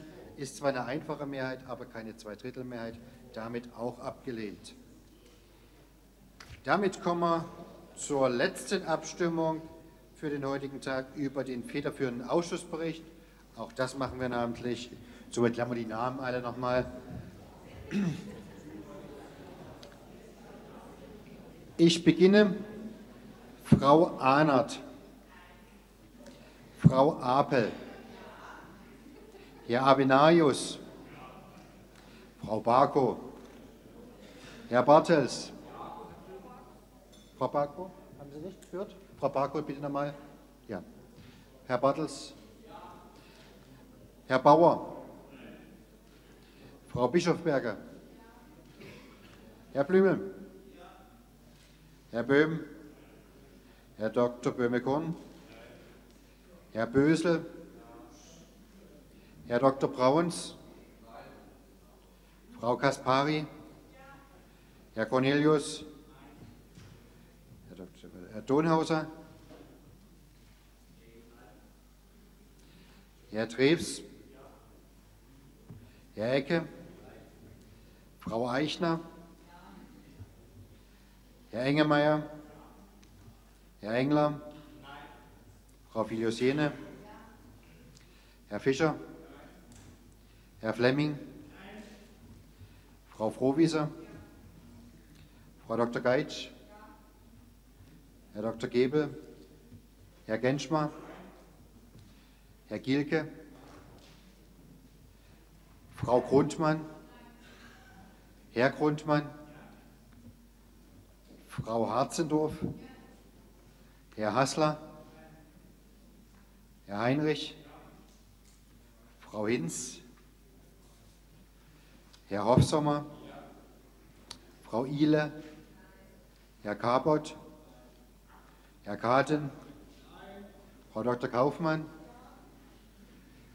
Herr Kiesling, Herr Klein, Frau Klepsch, Herr Krause, Herr Green, Herr Krüger, Herr Dr. Lames, Herr Lichti, Herr Löser, Frau Malberg, Herr Mattis, Frau Müller, Herr Musculus, Frau Muth, Herr Naumann, Herr Rentsch, Herr Dr. Reuter, Herr Schmelich, Herr Scholbach, Herr Schul Dr. Schulte-Wissermann, Herr Schulze, Herr Stahlmann-Fischer, Herr Thiele, Herr Urban, Herr Vogel, Frau Anke Wagner, Frau Kerstin Wagner, Frau Walter, Herr Wirz und Herr Zastow.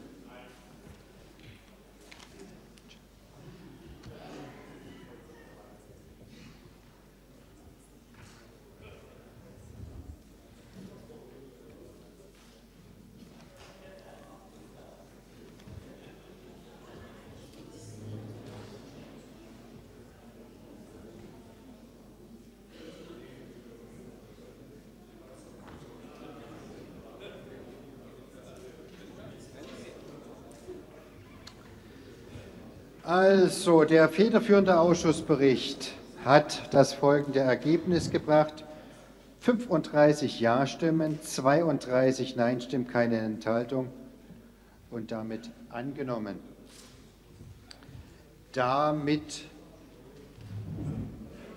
sind, damit sind wir zumindest zeitlich durch den heutigen Tag durch und ich beende die Sitzung und freue mich wahrscheinlich morgen, dass es viele zusätzliche neue OB-Kandidaten gibt, die dann noch darauf scharf sind, das hier zu leiten.